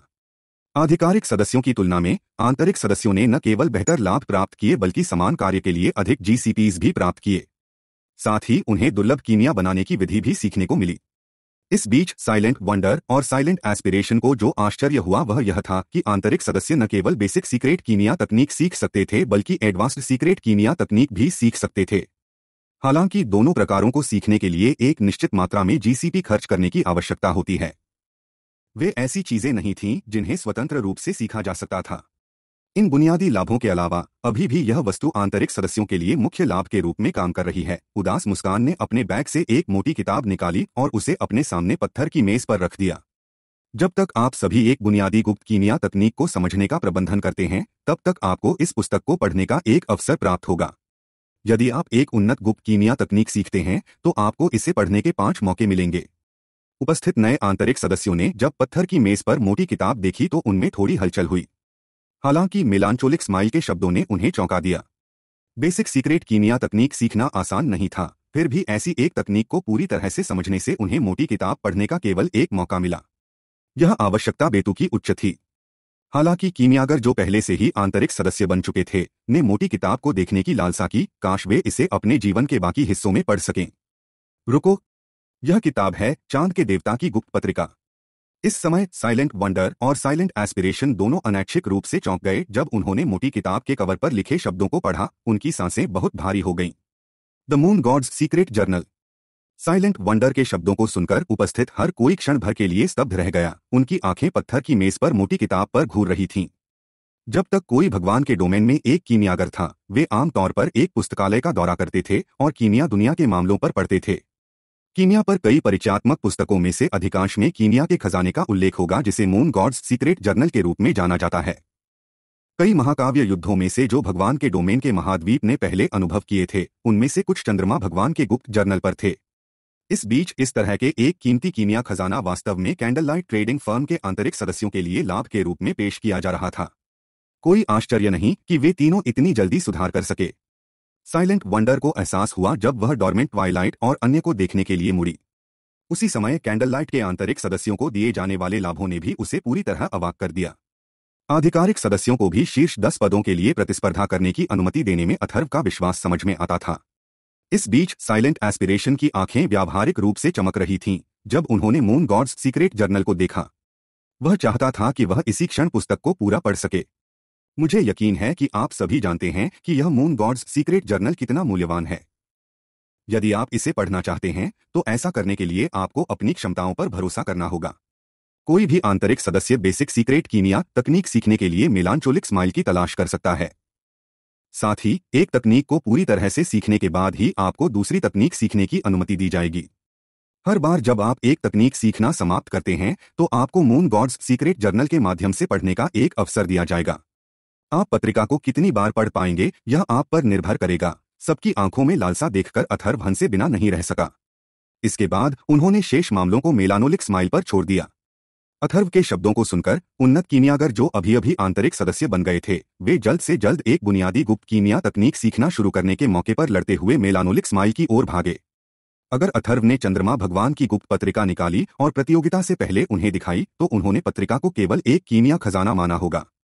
उन्हें इसके मूल्य की स्पष्ट समझ नहीं होती। हालाँकि डॉर्मेंट ट्वाइलाइट और अन्य लोगों के प्रदर्शन को देखने के बाद वे मून गॉड्स सीक्रेट जर्नल की शक्ति की पूरी तरह से सराहना करने लगे। अब उन्हें आशा थी कि वे जल्द से जल्द पत्रिका में संग्रहित ज्ञान को ग्रहण कर लेंगे। जिस तरह अथर्व निष्क्रिय गोधूली दे रहा था और अन्य दो शीर्ष तीन विजेताओं ने मन बढ़ाने वाली औषधि पकाने की विधि सीखी एकवा रोज ने अचानक उससे संपर्क किया। गिल्ड लीडर, मुझे अभी अभी एक रिपोर्ट मिली है, जिसमें कहा गया है कि हेवंस ब्यूरियल ने ओर्क साम्राज्य के प्राचीन रॉक सिटी पर छापा मारना शुरू कर दिया है। इसके अलावा, उन्होंने काफ़ी बल जुटाया है। इस समय, हमारा अनुमान है कि हेवंस बरियल ने एक लाख से अधिक संभ्रांत सदस्यों और पाँच हज़ार एनपीसीज को जुटाया है। ऐसा लगता है कि वे प्राचीन रॉक सिटी पर कब्जा करने के लिए लगभग निश्चित हैं एकवा रोज ने बताया। वे केवल एक लाख संभ्रांत खिलाड़ियों और पाँच हज़ार भाड़े के सैनिकों के साथ एक ओआरसी शहर पर हमला करने की हिम्मत करते हैं। एकवा रोज की बातें सुनकर अथर्व गहरी सोच में पड़ गया। क्या स्वर्ग के दफन का कोई अन्य बीमा हो सकता है? उसे इस बात का स्पष्ट अंदाज़ा नहीं था कि ओआरसी साम्राज्य के शहर कितने शक्तिशाली थे, लेकिन एक बात वह जानता था कि तटस्थ मानचित्रों में स्थित शहरों पर छापा मारना इतना आसान नहीं था। उदाहरण के लिए, भले ही गुप्त मंडप ने उससे पंद्रह हज़ार एनपीसी भाड़े के सैनिक प्राप्त किए थे, फिर भी ओआरसी शहर को सुरक्षित करने की संभावना न्यूनतम थी। आखिरकार, एक शहर के पास एक रक्षात्मक जादू सरणी थी। इस बीच, टीयर तीन और नीचे के हमलों से शहर की रक्षात्मक जादू सरणी की ऊर्जा को कम करने में बहुत कम मदद मिलेगी। इसके अलावा, शहर की रक्षा करने वाले ओर्क्स निश्चित रूप से खिलाड़ियों की संख्या को बहुत अधिक बढ़ा देंगे। शहर को घेरने वाले पौराणिक राक्षस भी थे। कालकोठरी में और खेतों में पाए जाने वाले पौराणिक राक्षसों के विपरीत, एक शहर की रक्षा करने वाले एक पौराणिक राक्षस को शहर की रक्षात्मक जादू सरणी से एक महत्वपूर्ण बफर प्राप्त होगा। एक लाख संभ्रांत खिलाड़ियों की एक सेना ऐसे पौराणिक राक्षस के सामने चींटियों के झुंड से अलग नहीं थी। बाद वाला बिना किसी प्रयास के पूर्व को मिटा सकता है। वास्तव में, भले ही शहर की रक्षा करने वाले पौराणिक राक्षसों ने कोई कदम नहीं उठाया हो, शहर के अंदर तैनात ओआरसी सेना सबसे अधिक संभावना है कि स्वर्ग के दफन की एक लाख विशिष्ट खिलाड़ियों की सेना को आसानी से नष्ट करने में सक्षम हो। इसलिए, प्राचीन रॉक सिटी पर कब्जा करने का प्रयास करके, या तो स्वर्ग के दफन के ऊपरी सोपानक में पूरी तरह से मूर्ख शामिल थे, या गिल्ड के पास कोई अन्य शक्ति थी जिस पर वे भरोसा कर रहे थे। संघ के नेता, मैंने सुना है कि कई प्रथम श्रेणी के संघ स्थिति का लाभ उठाने के लिए अपनी स्वयं की सेना भेज रहे हैं। क्या हमें भी इस मामले में हाथ डालना चाहिए? एकवा रोज के मन में स्वर्ग की कब्रगाह के बारे में कोई सकारात्मक भावना नहीं थी। दूसरे शब्दों में, उनके दो गिल्ड मूल रूप से दुश्मन थे। अब जबकि हेवंस बरियल प्राचीन रॉक सिटी पर कब्जा करने की कोशिश कर रहा था, ज़ीरो विंग स्वाभाविक रूप से बाहर बैठकर कुछ नहीं कर सकता था। रहने भी दो। चूँकि हेवंस ब्यूरियल इस तरह की कार्रवाई करने की हिम्मत करता है, मुझे यकीन है कि उन्होंने इस समस्या पर भी विचार किया होगा। हम सभी जानते हैं कि हम उनके द्वारा बिछाए गए जाल में फंस सकते हैं। बाकी मंडलियों को उनकी मस्ती करने दें। हालाँकि वहाँ भी स्थिति पर नज़र रखना सुनिश्चित करें, अथर्व ने अपना सिर हिलाते हुए कहा। ठीक है, क्या आपने अभी तक एनपीसी व्यापारियों के बारे में जानकारी की छंटाई की है? स्वर्ग के दफनाने के पीछे बीस्ट सम्राट की छाया मंडरा रही थी। मैजिक टावर जैसी रक्षात्मक संरचनाओं की सहायता के बिना एक मैदानी लड़ाई में दुष्ट जानवरों और दुष्ट राक्षसों के झुंड से निपटना बहुत मुश्किल होगा। बहुत कम से कम, ज़ीरो विन के पास अभी भी एक ललाट टकराव में राक्षसों की सेना के खिलाफ संघर्ष करने के साधनों की कमी थी। वास्तव में, प्राचीन रॉक सिटी पर हमला करने में हेवंस बरियल का लक्ष्य शहर की विजय बिल्कुल भी नहीं हो सकता है। यह बहुत अच्छी तरह से विभिन्न बड़े संघों को एक जाल में फंसाने का एक प्रयास हो सकता है, और अपने सदस्यों को बीस्ट सम्राट के लिए और भी अधिक दुष्ट दानव बनाने के लिए संसाधनों में बदल सकता है। आखिरकार, ब्लैक ड्रैगन एम्पायर का इविल गॉड्स टेंपल पहले ही सक्रिय हो चुका था। यदि बीस्ट सम्राट शक्तिशाली दुष्ट राक्षसों का पोषण करना चाहता है तो उसे ऐसा करने के लिए बड़ी संख्या में बलिदानों की आवश्यकता होगी। इस बीच खिलाड़ियों को सामान्य तरीके से खोजने में बहुत लंबा समय लगेगा। यदि वह एक ही समय में एक ही स्थान पर बड़ी संख्या में खिलाड़ियों को इकट्ठा कर सकता था, भले ही उक्त स्थान एक तटस्थ मानचित्र में हो। बस इसके बारे में सोचा जाना अथर्व को भयभीत कर देता है। अब अथर्व केवल इतना ही कर सकता था कि वह ज़ीरो विंग की शक्ति को जल्द से जल्द सुधार सके। उन्हें विश्वास था कि जब तक उन्होंने ज़ीरो विंग सिटी को ठीक से विकसित किया है, चाहे वह स्वर्ग का दफन हो बीस्ट सम्राट हो, या ब्लैकवाटर कॉरपोरेशन हो, उनमें से किसी को भी ज़ीरो विंग की नींद को जरा भी हिलाने का सपना नहीं देखना चाहिए। मैं समझता हूँ। मेरे पास फ्लाइंग शैडो होगा और बाकी लोग देखने के लिए आएँगे। एकवा रोज ने सिर हिलाया। एनपीसी व्यापारियों के लिए, मैंने पहले ही उनके विवरण पर एक रिपोर्ट तैयार कर ली है। मैं इसे अभी आपके पास भेजूँगा। जिसके बाद एकवा रोज ने कॉल काट दिया और एनपीसी व्यापारियों पर सांख्यिकी रिपोर्ट अथर्व को भेज दी। उनमें से इतने सारे क्यों हैं? एकवा रोज द्वारा भेजी गई जानकारी को देखकर अथर्व दंग रह गया। थोड़े समय के दौरान ज़ीरो विंग सिटी खुली थी। एक हज़ार से अधिक एनपीसी व्यापारी वास्तव में शहर में व्यापार करने की तलाश में आए थे। यह संख्या एनपीसी व्यापारियों की संख्या से भी अधिक हो गई थी। छाया अपने मुख्य शहर के साथ लुभाने में कामयाब रही थी।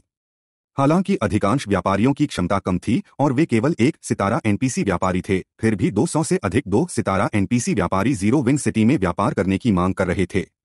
दो सितारा एनपीसी मर्चेंट्स की इस राशि के साथ, ज़ीरो विंग सिटी पहले से ही पहले दर्जे के गिल्ड द्वारा संचालित मुख्य शहरों को टक्कर दे सकता है। ये है तीन सितारा एनपीसी व्यापारी। जैसे ही अथर्व सूची के अंत में पहुँचे, उन्होंने देखा कि एनपीसी व्यापारियों का प्रतिनिधित्व करने वाला प्रतीक दो सितारों से तीन सितारों में परिवर्तित हो गया था। यह कैसे संभव है? ज़ीरो विंग सिटी अभी हाल ही में बनाई गई थी, फिर भी तीन सितारा एनपीसी व्यापारी पहले से ही इसका दौरा कर रहे हैं। यदि अतीत में गिल्ड्स को पता चला कि तीन सितारा एनपीसी व्यापारी शहर के खुलने के लगभग तुरंत बाद ज़ीरो विंग सिटी का दौरा किया तो वे निश्चित रूप से ईर्ष्या से मर जाएँगे। गॉड्स डोमेन में दो सितारा और तीन सितारा एनपीसी व्यापारियों के बीच गुणात्मक अंतर था। हालाँकि दोनों प्रकार के एनपीसी व्यापारियों द्वारा बेचे जाने वाले उत्पादों के प्रकार में बहुत अंतर नहीं था, लेकिन जब क्षमता की बात आई तो एक तीन स्टार एनपीसी व्यापारी ने अपने दो स्टार समक्षों को छलांग और सीमा से पार कर लिया। एनपीसी मर्चेंट की स्टार रैंकिंग न केवल उनके द्वारा बेची जाने वाली वस्तुओं की गुणवत्ता, बल्कि उक्त एनपीसी मर्चेंट द्वारा खरीदी गई दुकान की विकास गति को भी निर्धारित करती है। एनपीसी व्यापारियों द्वारा संचालित दुकानें खिलाड़ियों द्वारा संचालित दुकानों से अलग थीं।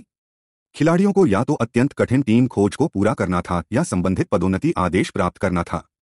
इसके विपरीत, एनपीसी व्यापारियों को ऐसी कठिन प्रक्रियाओं से नहीं गुजरना पड़ा। इसके बजाय, उनकी दुकानों का प्रचार पूरी तरह से उनकी बिक्री की मात्रा पर निर्भर करता था। एक दुकान के एक निश्चित बिक्री की मात्रा हासिल करने के बाद, दुकान स्वचालित रूप से प्रचारित हो जाएगी। इस बीच एक एनपीसी मर्चेंट जितना उच्च रैंक वाला था, उतनी ही अधिक बिक्री की मात्रा हासिल करने में सक्षम था, जिससे उन्हें अपनी दुकानों को और अधिक तेज़ी से प्रचारित करने की अनुमति मिली। जब एक एनपीसी संचालित दुकान को बढ़ावा दिया गया तो यह बहुत अधिक मूल्यवान वस्तुओं को बेचना शुरू कर देगा जो बदले में दुकान में स्थित शहर में अधिक खिलाड़ियों को आकर्षित करने में मदद करेगा।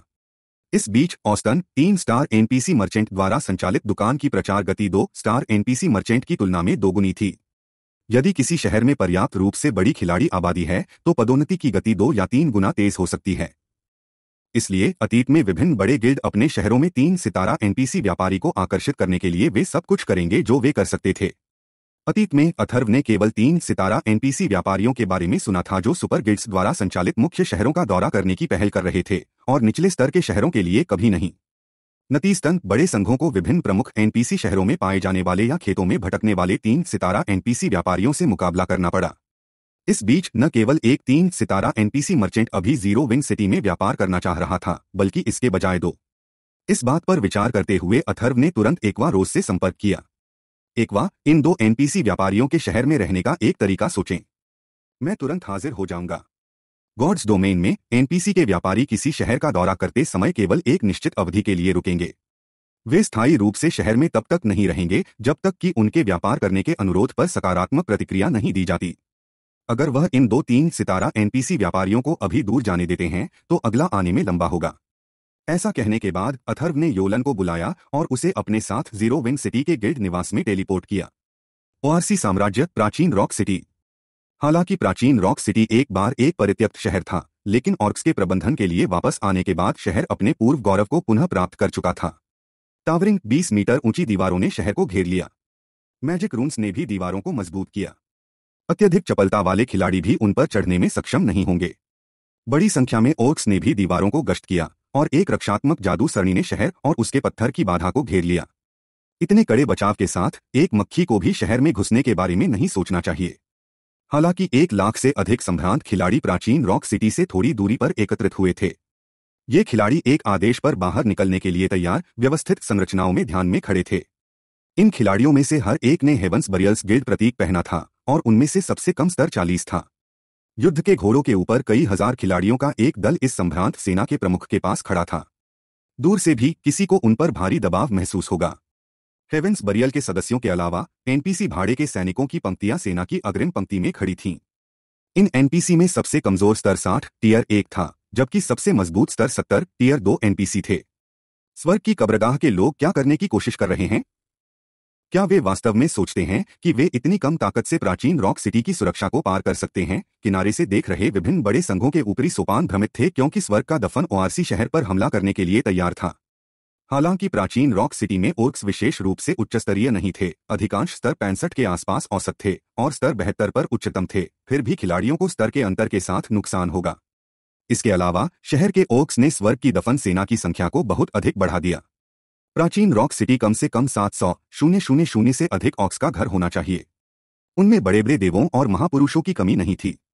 स्वर्ग का दफन एक सौ शून्य शून्य शून्य मज़बूत कुलीन सेना और पाँच हज़ार एनपीसी भाड़े के सैनिक मुश्किल से ओट्स के लिए वार्मअप के रूप में काम करेंगे। गिल्ड लीडर सिंगुलर, ऐसा लगता है कि हमारी घेराबंदी ने कुछ मक्खियों को आकर्षित किया है। ले जिंगयांग ने मुस्कराते हुए टिप्पणी की, जब उन्होंने बड़ी मंडलियों का सर्वेक्षण किया। दस से अधिक संघ प्राचीन रॉक सिटी में स्वर्ग की कब्रगाह को देखने के लिए एकत्रित हुए थे। इन संघों ने मिलकर दो सौ शून्य शून्य शून्य से अधिक खिलाड़ियों को भेजा था। संयुक्त बल ने पहले ही हेवंस ब्यूरियल की संख्या को पार कर लिया है। यदि घेराबंदी के दौरान एक महत्वपूर्ण क्षण में इन बड़े संघों ने अपनी सेना पर घात लगाकर हमला किया तो उन्हें एक घातक झटका लगेगा। क्या यह वैसी नहीं है जैसी हमें उम्मीद थी? विलक्षण दफन ने हँसते हुए पूछा। यह सही है।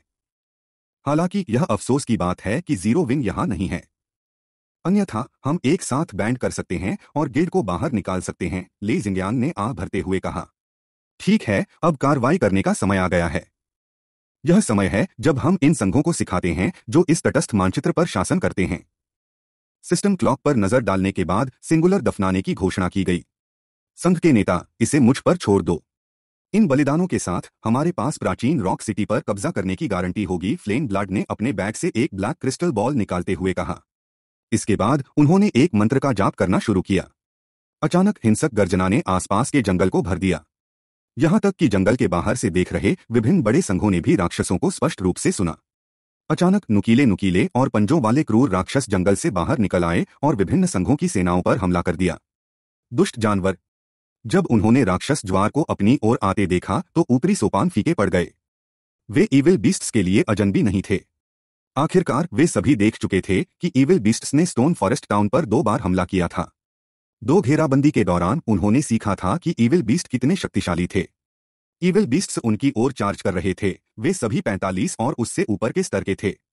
हालाँकि वे उतने मज़बूत नहीं थे जितने कि स्टोन फॉरेस्ट टाउन पर हमला करने वाले थे, फिर भी वे शक्तिशाली थे। इसके अलावा तीन स्तर साठ मिथिक रैंक वाले इविल अर्थ ड्रैगन्स ने इविल बीस्ट सेना का नेतृत्व किया। बकवास। सब लोग अपने रिटर्न स्क्रॉल का उपयोग करें। विभिन्न संघों के ऊपरी सोपानकों ने इविल बीस्ट्स को देखते ही पीछे हटने का आदेश दिया। हालाँकि, जब उन्होंने अपने रिटर्न स्क्रॉल का उपयोग करने की कोशिश की तो उन्होंने उन्हें अप्रभावी पाया। अंत में, वे केवल इविल बीस्ट्स के करीब आते हुए देख सकते थे। धत तेरी की।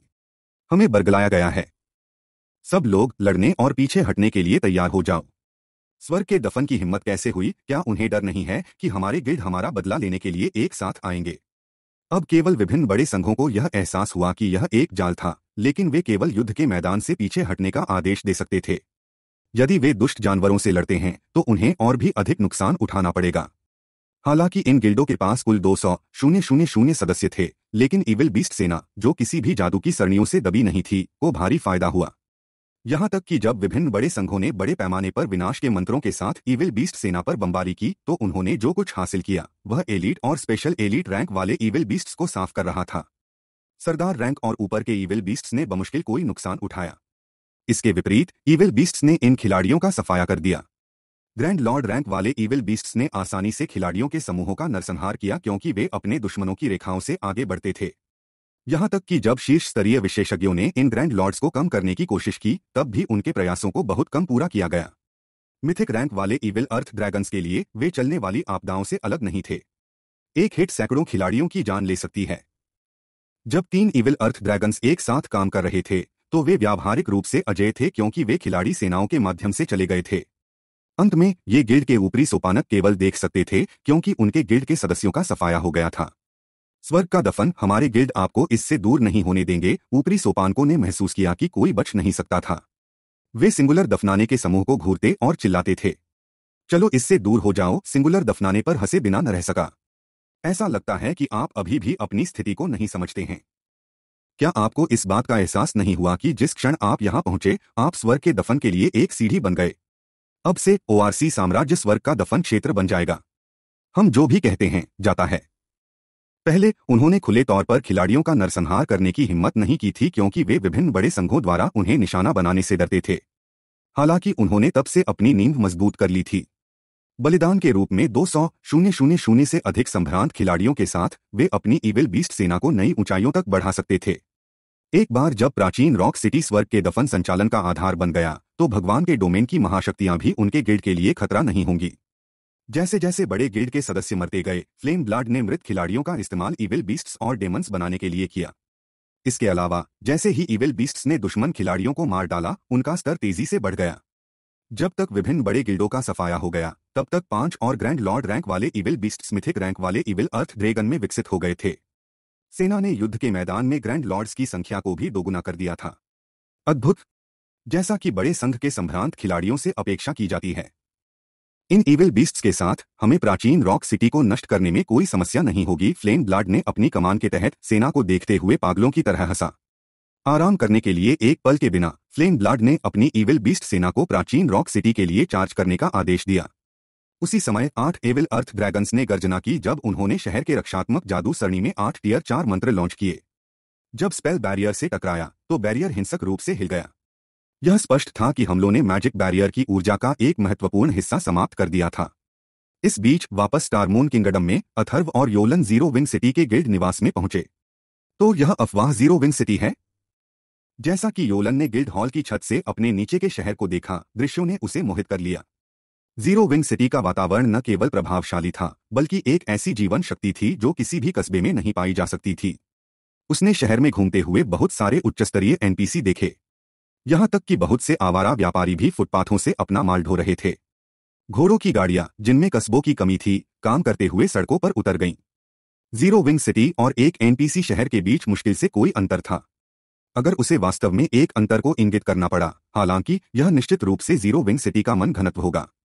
शहर के अंदर मैजिक टावर्स की कमी के बावजूद यहाँ का मैना घनत्व स्टोन फॉरेस्ट टाउन की तुलना में थोड़ा ही कमज़ोर था। ज़ीरो विंग सिटी कितनी विशाल थी इस पर विचार करते हुए योलन की आँखें मदद नहीं कर सकती थीं, लेकिन जैसे ही उसने कल्पना की कि कई मैजिक टावर्स से फ़र्क पड़ेगा। ज़ीरो विंग की अविश्वसनीय क्षमता के साथ यह कोई आश्चर्य नहीं था कि अथर्व ने ब्लैकवाटर कॉरपोरेशन को भड़काने की हिम्मत क्यों की। हालाँकि यूलान इस बात को लेकर उत्सुक थी कि अथर्व उसे यहाँ क्यों ले गया था। आइए सिटी लॉर्ड्स मेंशन देखें। ज़ीरो विंग सिटी में सिटी लॉर्ड्स मेंशन शहर के मध्य में स्थित था। हालाँकि इमारत एक हवेली के बजाय एक पहाड़ की तरह अधिक थी। हवेली के चारों ओर ऊँची दीवारें थीं। संरचना को एक शक्तिशाली जादू सरणी द्वारा भी संरक्षित किया गया था, जिसने केवल सामने के प्रवेश द्वार से प्रवेश की अनुमति दी थी। लेवल 50 टीयर दो NPC guard city lords mansion के प्रवेश द्वार पर तैनात थे। हवेली की जादुई सरणी ने इन एनपीसी गार्डों की ताकत को भी मज़बूत किया। खेल के इस चरण में, इससे कोई फ़र्क नहीं पड़ता कि कितने खिलाड़ियों ने सिटी लॉर्ड्स मेशन में सेंध लगाने की कोशिश की ये। एनपीसी गार्ड उनमें से हर एक को बिना चुके मार डालेंगे। जब अथर्व और यूलान सिटी लॉर्ड्स मेंशन के फ़र्स्ट फ्लोर हॉल में पहुँचे तो सैकड़ों आवारा एनपीसी व्यापारियों को देखकर उनका स्वागत किया गया। योलन दृश्य से दंग रह गया। हालाँकि उसे एनपीसी व्यापारियों की बहुत स्पष्ट समझ नहीं थी, लेकिन वह जानती थी कि ये एनपीसी आवारा व्यापारियों के समान थे जो गिल्ड टाउन का दौरा करते थे। केवल ये एनपीसी व्यापारी अधिक स्थिर थे और एक दिन अचानक प्रकट नहीं होंगे और अगले दिन गायब हो जाएँगे।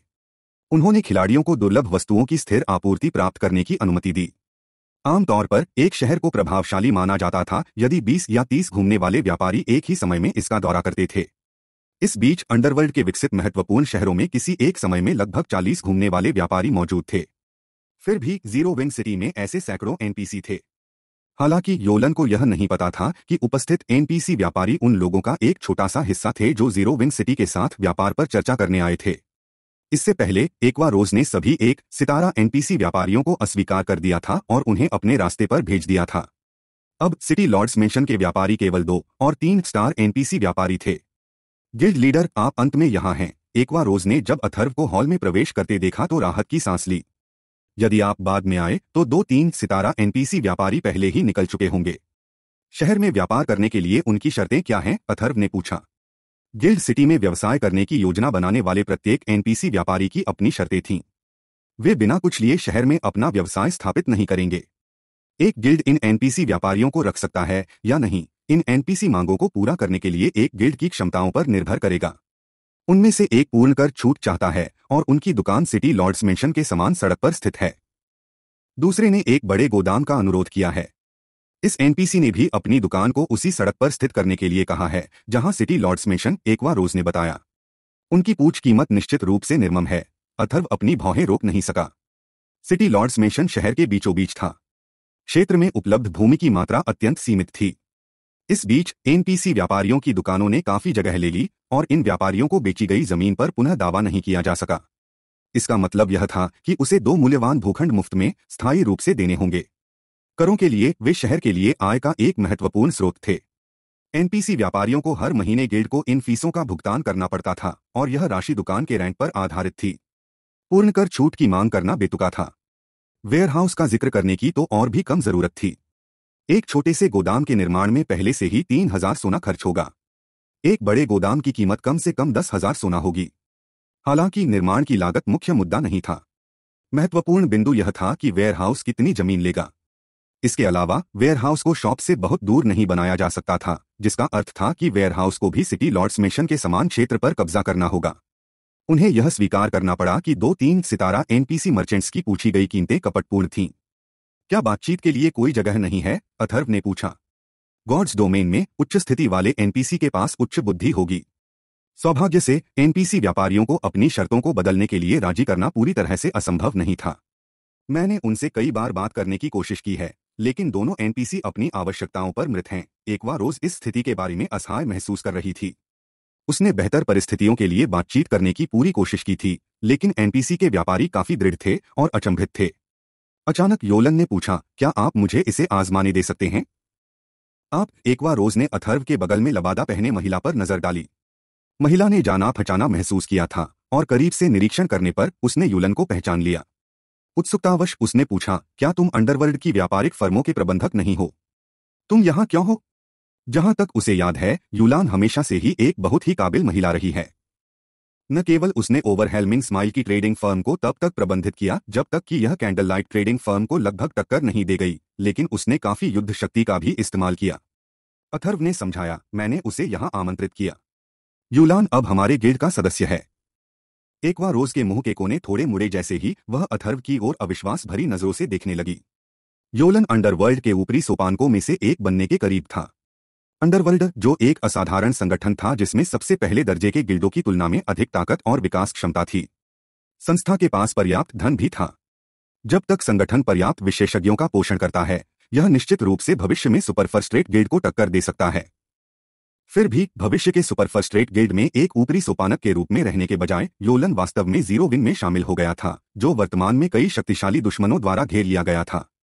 एकवा रोज को पता नहीं था कि अथर्व ने योलन को ज़ीरो विन की ओर आकर्षित करने के लिए किस तरीके का इस्तेमाल किया था।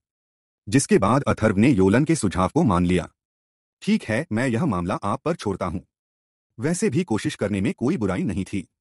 वर्तमान में ज़ीरो विन सिटी की पृष्ठभूमि न्यूनतम थी।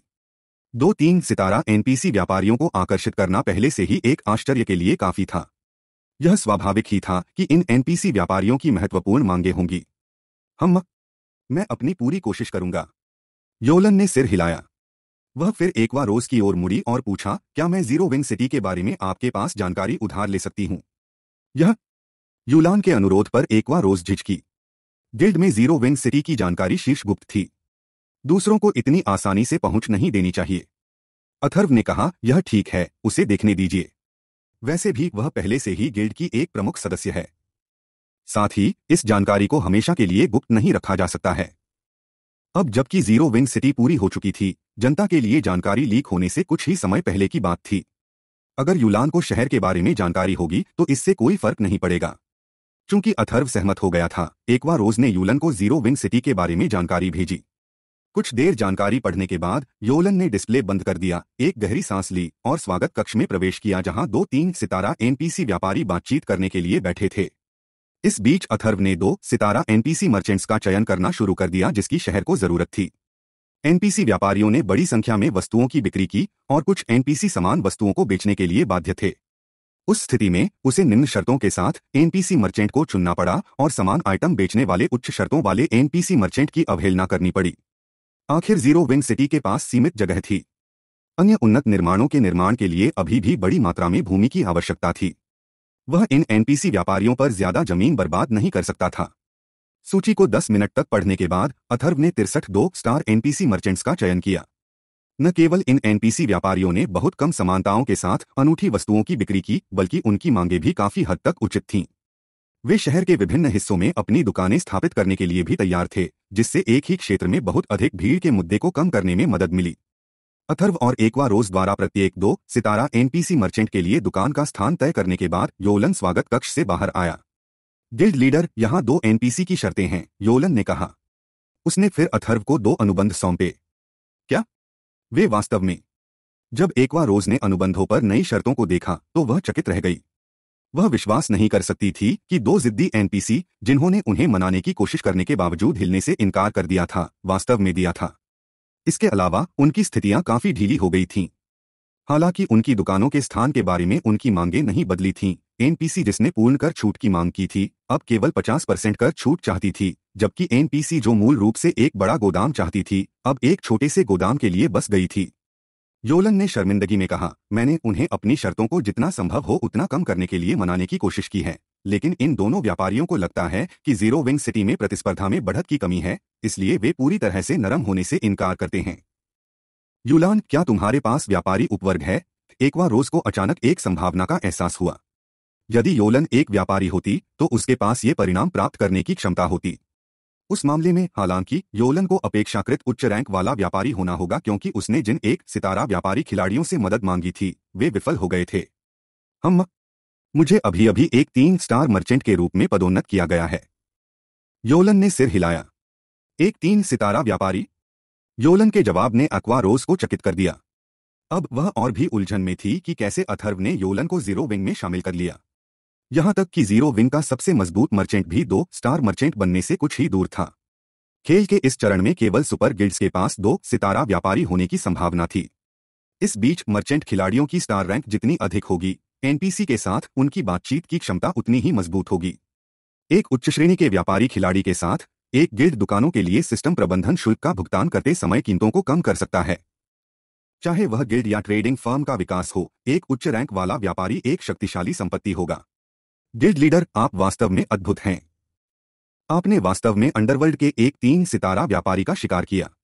अगर अंडरवर्ल्ड को इस बारे में पता चला तो वे निश्चित रूप से उसके लिए हमसे लड़ेंगे एकवा रोज ने अथर्व से फुसफुसाया। लेकिन एकवा रोज को यह नहीं पता था कि केवल अंडरवर्ल्ड ही परेशानी की तलाश में नहीं होगा। यहाँ तक कि ब्लैकवाटर कॉरपोरेशन जो वर्तमान में अंडरवर्ल्ड का समर्थन करता है, भी क्रोधित होगा। जैसे ही अथर्व दो तीन स्टार एनपीसी मर्चेंट्स के लिए अनुबंध पर हस्ताक्षर करने वाला था सिस्टम घोषणा की आवाज़ उसके कानों तक पहुँची। Starmoon kingdom region system announcement orc साम्राज्य के प्राचीन रॉक सिटी पर सफलतापूर्वक कब्जा करने के लिए स्वर्ग के दफन के लिए बधाई। पचास हज़ार गिल्ड लोकप्रियता, एक लाख गिल्ड सम्मान अंक और स्टारमून किंगडम में एक सौ पचास गिल्ड प्रभाव को पुरस्कृत करना। प्राचीन रॉक सिटी पर कब्जा कर लिया गया है। वह कैसे संभव है? सिस्टम की घोषणा देखकर एकवा रोज चकित रह गई। सैकड़ों हज़ारों ओक्स ने ओआरसी साम्राज्य के शहरों का बचाव किया। प्रत्येक शहर को एक शक्तिशाली, रक्षात्मक जादू सरणी द्वारा भी संरक्षित किया गया था। सरणी को तोड़ने में बहुत समय और जनशक्ति लगेगी। हालाँकि यह वह नहीं था जिसने उसे सबसे अधिक आश्चर्यचकित किया। आखिरकार गॉड्स डोमेन के पास कई शक्तिशाली उपकरण थे। जिस चीज़ ने उन्हें सबसे ज़्यादा चौंकाया वह थी टाइमिंग। प्राचीन रॉक सिटी पर स्वर्ग के दफन के हमले के बारे में रिपोर्ट प्राप्त करने के बाद उसे दो घंटे से भी कम समय हुआ था। प्राचीन रॉक सिटी में कितने ओर्क्स हैं? एक लाख संभ्रांत खिलाड़ियों की सेना के लिए केवल दो घंटों में शहर को खाली करना असंभव था। कई बड़े संघ भी किनारे से देख रहे थे और हड़ताल करने के अवसर की प्रतीक्षा कर रहे थे। तुरंत एकवा रोज ने अपने अधीनस्थों से संपर्क करना शुरू किया और उन्हें प्राचीन रॉक सिटी की स्थिति पर नज़र डाली। ओआरसी साम्राज्य के शहरों में से एक पर कब्जा करना कोई मामूली बात नहीं थी। आजकल पड़ोसी राज्यों और साम्राज्यों के कई खिलाड़ी ओआरसी साम्राज्य में पीसने और समतल करने के लिए एकत्रित हुए। ओआरसी साम्राज्य के तीन शहरों के विपरीत, जो अब तक कब्जा कर लिया गया था, प्राचीन रॉक सिटी बाहरी क्षेत्र के बजाय साम्राज्य के आंतरिक क्षेत्र में स्थित था। यदि खिलाड़ी अंशदान अंक अर्जित करना चाहते हैं तो मज़बूत राक्षसों के कारण आंतरिक क्षेत्र में ऐसा करना बहुत आसान था। अब जब प्राचीन रॉक सिटी पर कब्जा कर लिया गया था तो बड़ी संख्या में खिलाड़ी शहर को एक आराम क्षेत्र के रूप में उपयोग करते हुए झुंड में आएँगे। शहर के साथ जो पैसा और संसाधन बना सकता है, वह भयावह होगा। इतनी आय और हेवंस बरियल की पृष्ठभूमि के साथ गिल्ड तेज़ी से विकसित होगा। जबकि एकवा रोज ने स्थिति की जाँच की स्टारमून किंगडम के मंचों में हंगामे की स्थिति थी। स्वर्ग का दफन दो सौ शून्य शून्य शून्य से अधिक गिल्ड कुलीन खिलाड़ियों में फंस गया और मारा गया। विभिन्न बड़े गिल्ड भगवान के डोमेन के चेहरे से स्वर्ग के दफन को मिटाने के अपने इरादे की घोषणा करते हैं। स्वर्ग के दफन ने प्राचीन रॉक सिटी को घेरने के लिए एक ईविल बीस्ट सेना को नियंत्रित किया। जैसे ही इन पोस्टों को मंचों पर प्रकाशित किया गया, उन्होंने जल्दी से बहुत ध्यान आकर्षित किया और इसे सूची में सबसे ऊपर कर दिया। क्या? ऐसा भी कुछ संभव है? बकवास। यह धोखा है। स्वर्ग का दफन वास्तव में इतने सारे दुष्ट जानवरों को नियंत्रित कर सकता है। अब गिल्ड के लिए कौन मैच हो सकता है? यह प्रभावशाली है। लेकिन दिन के अंत में दुष्ट जानवर मानव जाति के खिलाफ खड़े हो जाते हैं। यदि एनपीसीज को इन इविल बीस्ट्स का पता चलता है तो वे उनका सफाया करने के लिए लामबंद हो जाएँगे। इसके अलावा इविल बीस्ट आर्मी हेवन के दफन नियंत्रणों को महत्वपूर्ण नुकसान हुआ है। क्या तुम लोगों ने नहीं देखा कि इस लड़ाई में 80 परसेंट से अधिक इविल बीस्ट सेना का सफाया हो गया था? हालाँकि, स्वर्ग का दफन अब प्राचीन रॉक सिटी और ओआरसी साम्राज्य में एक शहर को नियंत्रित करता है। इविल बीस्ट सेना के खतरे के बिना भी, कौन सा गिल्ड संभवतः स्वर्ग के दफन के लिए एक मैच हो सकता है? मुझे डर है कि वह समय दूर नहीं होगा जब हैवंस बरियल कई पड़ोसी राज्यों में नंबर एक गिल्ड बन जाएगा। मुझे आश्चर्य है कि क्या स्वर्ग का दफन भर्ती कर रहा है। कुछ समय के लिए स्वर्ग के दफन के बारे में विभिन्न वार्तालापों ने स्टारमून किंगडम के मंचों को भर दिया। कोई सोच भी नहीं सकता था कि स्वर्ग का दफन एक गिल्ड जिसे ज़ीरो विंग ने लगातार दबा दिया, एक काले घोड़े के रूप में उठेगा। अब जबकि ऑर्क साम्राज्य प्रभावी रूप से स्वर्ग के दफन से संबंधित था। हर किसी का मानना था कि गिल्ड द्वारा स्टारमून किंगडम के अधिपति की स्थिति को चुरा लेने में देर नहीं लगेगी। जहाँ तक स्वर्ग की कब्र को गिराने के लिए एक साथ काम करने वाले विभिन्न बड़े संघों की बात है तो सभी ने सोचा कि यह एक मज़ाक से ज़्यादा कुछ नहीं है। अब जबकि हेवंस बरियल ने प्राचीन रॉक सिटी पर कब्जा कर लिया था, यहाँ तक कि ईविल बिस्ट्स के बिना भी गिल्ड अपनी सुरक्षा अवधि के दौरान शहर को एक लोहे के किले में बदल सकता था, जिससे ओक साम्राज्य में एक अडिग नींव स्थापित हो गई। ओआरसी साम्राज्य में कोई टेलीपोर्टेशन सरणियाँ नहीं थीं। वहाँ पहुँचने के लिए खिलाड़ियों को अपने पैरों पर ही निर्भर रहना पड़ता था। यदि साम्राज्य के अंदर स्वर्ग के दफन के खिलाफ विभिन्न बड़े संघ संघर्षण के युद्ध में लगे हुए हैं तो वे भारी नुकसान में होंगे। आखिरकार, स्वर्ग के दफन के सदस्य प्राचीन रॉक सिटी में फिर से जीवित हो सकते हैं। उसी समय, वे शहर को गिल्ड ट्रांसफ़र स्क्रॉल के साथ टेलीपोर्ट कर सकते थे, जो तेज़ी से सुदृढ़ीकरण प्रदान करते थे। विभिन्न बड़े गिल्ड कुछ समय के लिए स्वर्ग के दफन के साथ युद्ध में जाने का जोखिम नहीं उठा सकते थे। इस बीच प्राचीन रॉक सिटी के अंदर स्वर्ग के दफन के सदस्यों ने पहले ही शहर का पुनर्निर्माण शुरू कर दिया था। वे शहर को स्वर्ग के दफन के मुख्य मुख्यालय में बदलने के लिए तैयार थे। हाँ हाँ हाँ। आश्चर्यजनक। यह बहुत बढ़िया है। हमें जनता के लिए प्राचीन रॉक सिटी खोलने में ज़्यादा समय नहीं लगेगा। गिल्ड लीडर सिंगुलर आपने और आपके गिल्ड ने शानदार प्रदर्शन किया है। इस शहर के आधार के रूप में हमें कहीं और विकास करते समय धन या संसाधनों की कमी के बारे में चिंता करने की ज़रूरत नहीं होगी। हम अपने साथ काम करने के लिए कुछ और बड़ी कंपनियों को भी आकर्षित कर सकते हैं ले जिंडियांग ने कहा। शहर की दीवारों से प्राचीन रॉक सिटी को देखकर वह हंसे बिना नहीं रह सका। हमारी सफलता आप सभी के लिए धन्यवाद है, यंग मास्टर ली। यदि आपके टीयर चार डोमेन स्क्रॉल के लिए नहीं तो हम इतनी आसानी से गार्जियन बॉस को नहीं हरा पाए होते। अगर हम लड़ाई में धीमे होते तो शायद दुष्ट पशु सेना का सफाया हो गया होता, सिंगुलर दफनाने ने बुरी तरह आह भरी। हालाँकि वह प्राचीन रॉक सिटी पर कब्जा करने के बारे में आश्वस्त था। अब जब शहर वास्तव में उसके हाथों में था तो उसे लगा जैसे वह सपना देख रहा हो। प्राचीन रॉक सिटी की रक्षा करने वाले ओक्स खेतों की तरह नहीं थे। शहर की जादुई व्यवस्था ने इन बचाव करने वाले ओक्स को चमका दिया था, और हालाँकि उनके पास बड़ी संख्या में ईविल बिस्ट्स और ईविल दानव थे। उन्होंने केवल ओक्स को अस्थायी रूप से वापस रखा था, उन्हें पूरी तरह से नष्ट करने में विफल रहे। जबकि शहर के अधिकांश ओक्स विचलित हो गए थे। उन्होंने शहर के गार्जियन बॉस की ओर एक रास्ता खोलने के लिए आठ मिथिक रैंक वाले ईविल अर्थ ड्रैगन और भाड़े के एनपीसी का इस्तेमाल किया था। टीयर चार डोमेन स्क्रॉल का उपयोग करने के बाद ही वे स्तर बेहतर और जनरल को मारने में कामयाब रहे। अंत में, उन्होंने प्राचीन रॉक सिटी पर कब्जा करने के लिए छह इविल अर्थ ड्रैगन्स 80 परसेंट से अधिक इविल बीस्ट और एविल दानव सेना और चालीस हज़ार से अधिक कुलीन खिलाड़ियों की बलि दी थी। यद्यपि बलिदान महान थे, वे प्राचीन रॉक सिटी के माध्यम से प्राप्त होने वाले संभावित लाभ की तुलना में नगण्य थे। गिल्ड लीडर सिंगुलर, अब जब हमने प्राचीन रॉक सिटी पर कब्जा कर लिया है तो हमें गिल्ड का विस्तार करना होगा। क्या आप वास्तव में स्टार मून किंगडम के ज़ीरो विंग से निपटने के लिए मूल योजना के साथ जाने की योजना बना रहे हैं? ली जिंडियान ने उत्सुकता से पूछा। अब जबकि स्वर्ग का दफन प्राचीन रॉक सिटी को अपनी नीम के रूप में इस्तेमाल कर सकता है, सच में, यह स्टार मून किंगडम में गिल्ड के विकास पर ध्यान केंद्रित करने के लिए समय की भारी बर्बादी थी। ले जिंडियान की राय में दो पड़ोसी साम्राज्यों में गिल्ड के विकास पर ध्यान केंद्रित करना सही निर्णय होगा। आखिरकार स्टारमून किंगडम की तुलना में साम्राज्यों के पास कहीं अधिक खिलाड़ी और संसाधन थे। बिल्कुल, यह उस समय के बारे में है जब हम स्टारमून किंगडम को दिखाते हैं कि इसका असली अधिपति कौन है। ज़ीरो विंग नाम सुनते ही उनकी आँखों में एक ठंडी चमक चमक उठी। हेवंस बरियल को ज़ीरो विंग की वजह से स्टारमून किंगडम में अपने विकास को छोड़ने के लिए मजबूर किया गया था। नतीस्तन स्वर्ग का दफन लोगों की आँखों में हँसी का पात्र बन गया था और उसे अपना ध्यान तटस्थ मानचित्रों पर स्थानांतरित करने के लिए मजबूर होना पड़ा था। अब जबकि हेवंस बरियल के पास आश्वासन के रूप में प्राचीन रॉक सिटी थी, इसे अपने पिछले गौरव को पुनः प्राप्त करना था। इसके अलावा, सिंगुलर दफनाने में अभी भी अथर्व के प्रति द्वेष था कि उसने जमे हुए निशान में एक ही हमले के साथ उसे मार डाला। बदला लेने से पहले वह संभवतः अपने गिल्ड के विकास को अन्य साम्राज्यों और साम्राज्यों में कैसे स्थानांतरित कर सकता था? इस बीच स्टारमून किंगडम के ज़ीरो विंग सिटी में वापस। गिल्ड लीडर, यह बुरा है, जब एकवा रोज ने अपने माथतों की नवीनतम स्थिति रिपोर्ट पढ़ी तो उसकी भौहें तन गईं। अब जबकि स्वर्ग के दफन ने प्राचीन रॉक सिटी की तरह एक सोने की खान हासिल कर ली है, हालाँकि उनके पास अभी भी हमें कुछ भी करने के लिए सैन्य कौशल की कमी है, उन्होंने स्टारमून किंगडम के बाज़ार में हस्तक्षेप करना शुरू कर दिया है। उन्होंने न केवल अपने द्वारा राज्य में बेची जाने वाली वस्तुओं की कीमतों को 20 परसेंट तक कम कर दिया है, बल्कि उन्होंने हमारे पूरे गिल्ड पर इनाम भी रखा है। वे मारे गए प्रत्येक सामान्य सदस्य के लिए 20 रजत, कुलीन सदस्यों के लिए एक स्वर्ण, मुख्य सदस्यों के लिए 10 स्वर्ण गिल्ड के ऊपरी सोपानकों के लिए एक हज़ार स्वर्ण और आपके लिए बीस हज़ार स्वर्ण गिल्ड लीडर का भुगतान करेंगे। वे स्पष्ट रूप से पैसे का उपयोग करके हमें हराने की कोशिश कर रहे हैं। पैसे का उपयोग करके हमें हराएँ एकवा रोज की रिपोर्ट सुनकर अथर्व अपनी मुस्कान नहीं रोक सका। यह दिलचस्प है। गिल्ड लीडर, आप अभी भी मुस्कुराने के मूड में हैं? अब तक मंचों पर कई खिलाड़ियों ने इनाम में रुचि व्यक्त की है। और हमारे खिलाफ साजिश रचनी शुरू कर दी है। एकवा रोज ने कहा, अथर्व की हल्की फुल्की प्रतिक्रिया से चकित। तत्वों के चार टावरों का निर्माण कैसा चल रहा है? अथर्व ने एकवा रोज के साथ खिलवाड़ करना बंद करते हुए पूछा। आधार संरचनाओं को पूरा कर लिया गया है। हालाँकि, हम कोर सेक्शन के बारे में कुछ नहीं कर सकते एकवा रोज ने अपना सिर हिलाते हुए कहा। वह तेज है।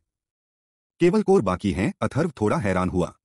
उन्होंने टावरों के निर्माण को इतनी जल्दी पूरा करने की कभी उम्मीद नहीं की थी। तो ठीक है।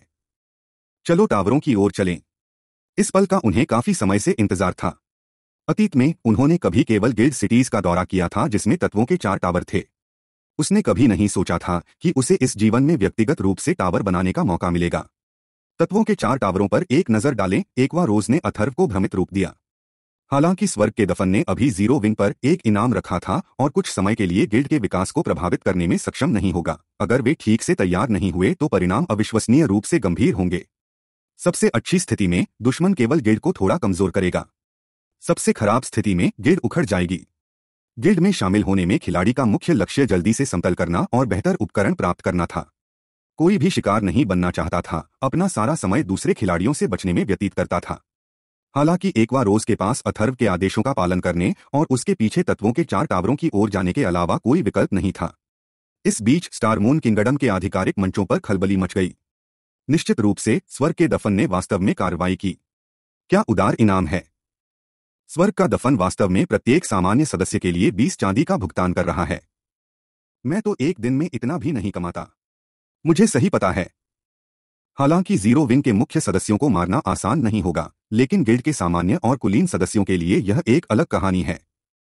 अगर मैं इस मौके का फ़ायदा उठा सका तो मैं इतना पैसा कमा सकता हूँ कि खुद के लिए एक पर्वत बन सकूँ। एक शिकार पार्टी का गठन। जो भी पैसा कमाना चाहता है, मुझसे जल्दी से संपर्क करें।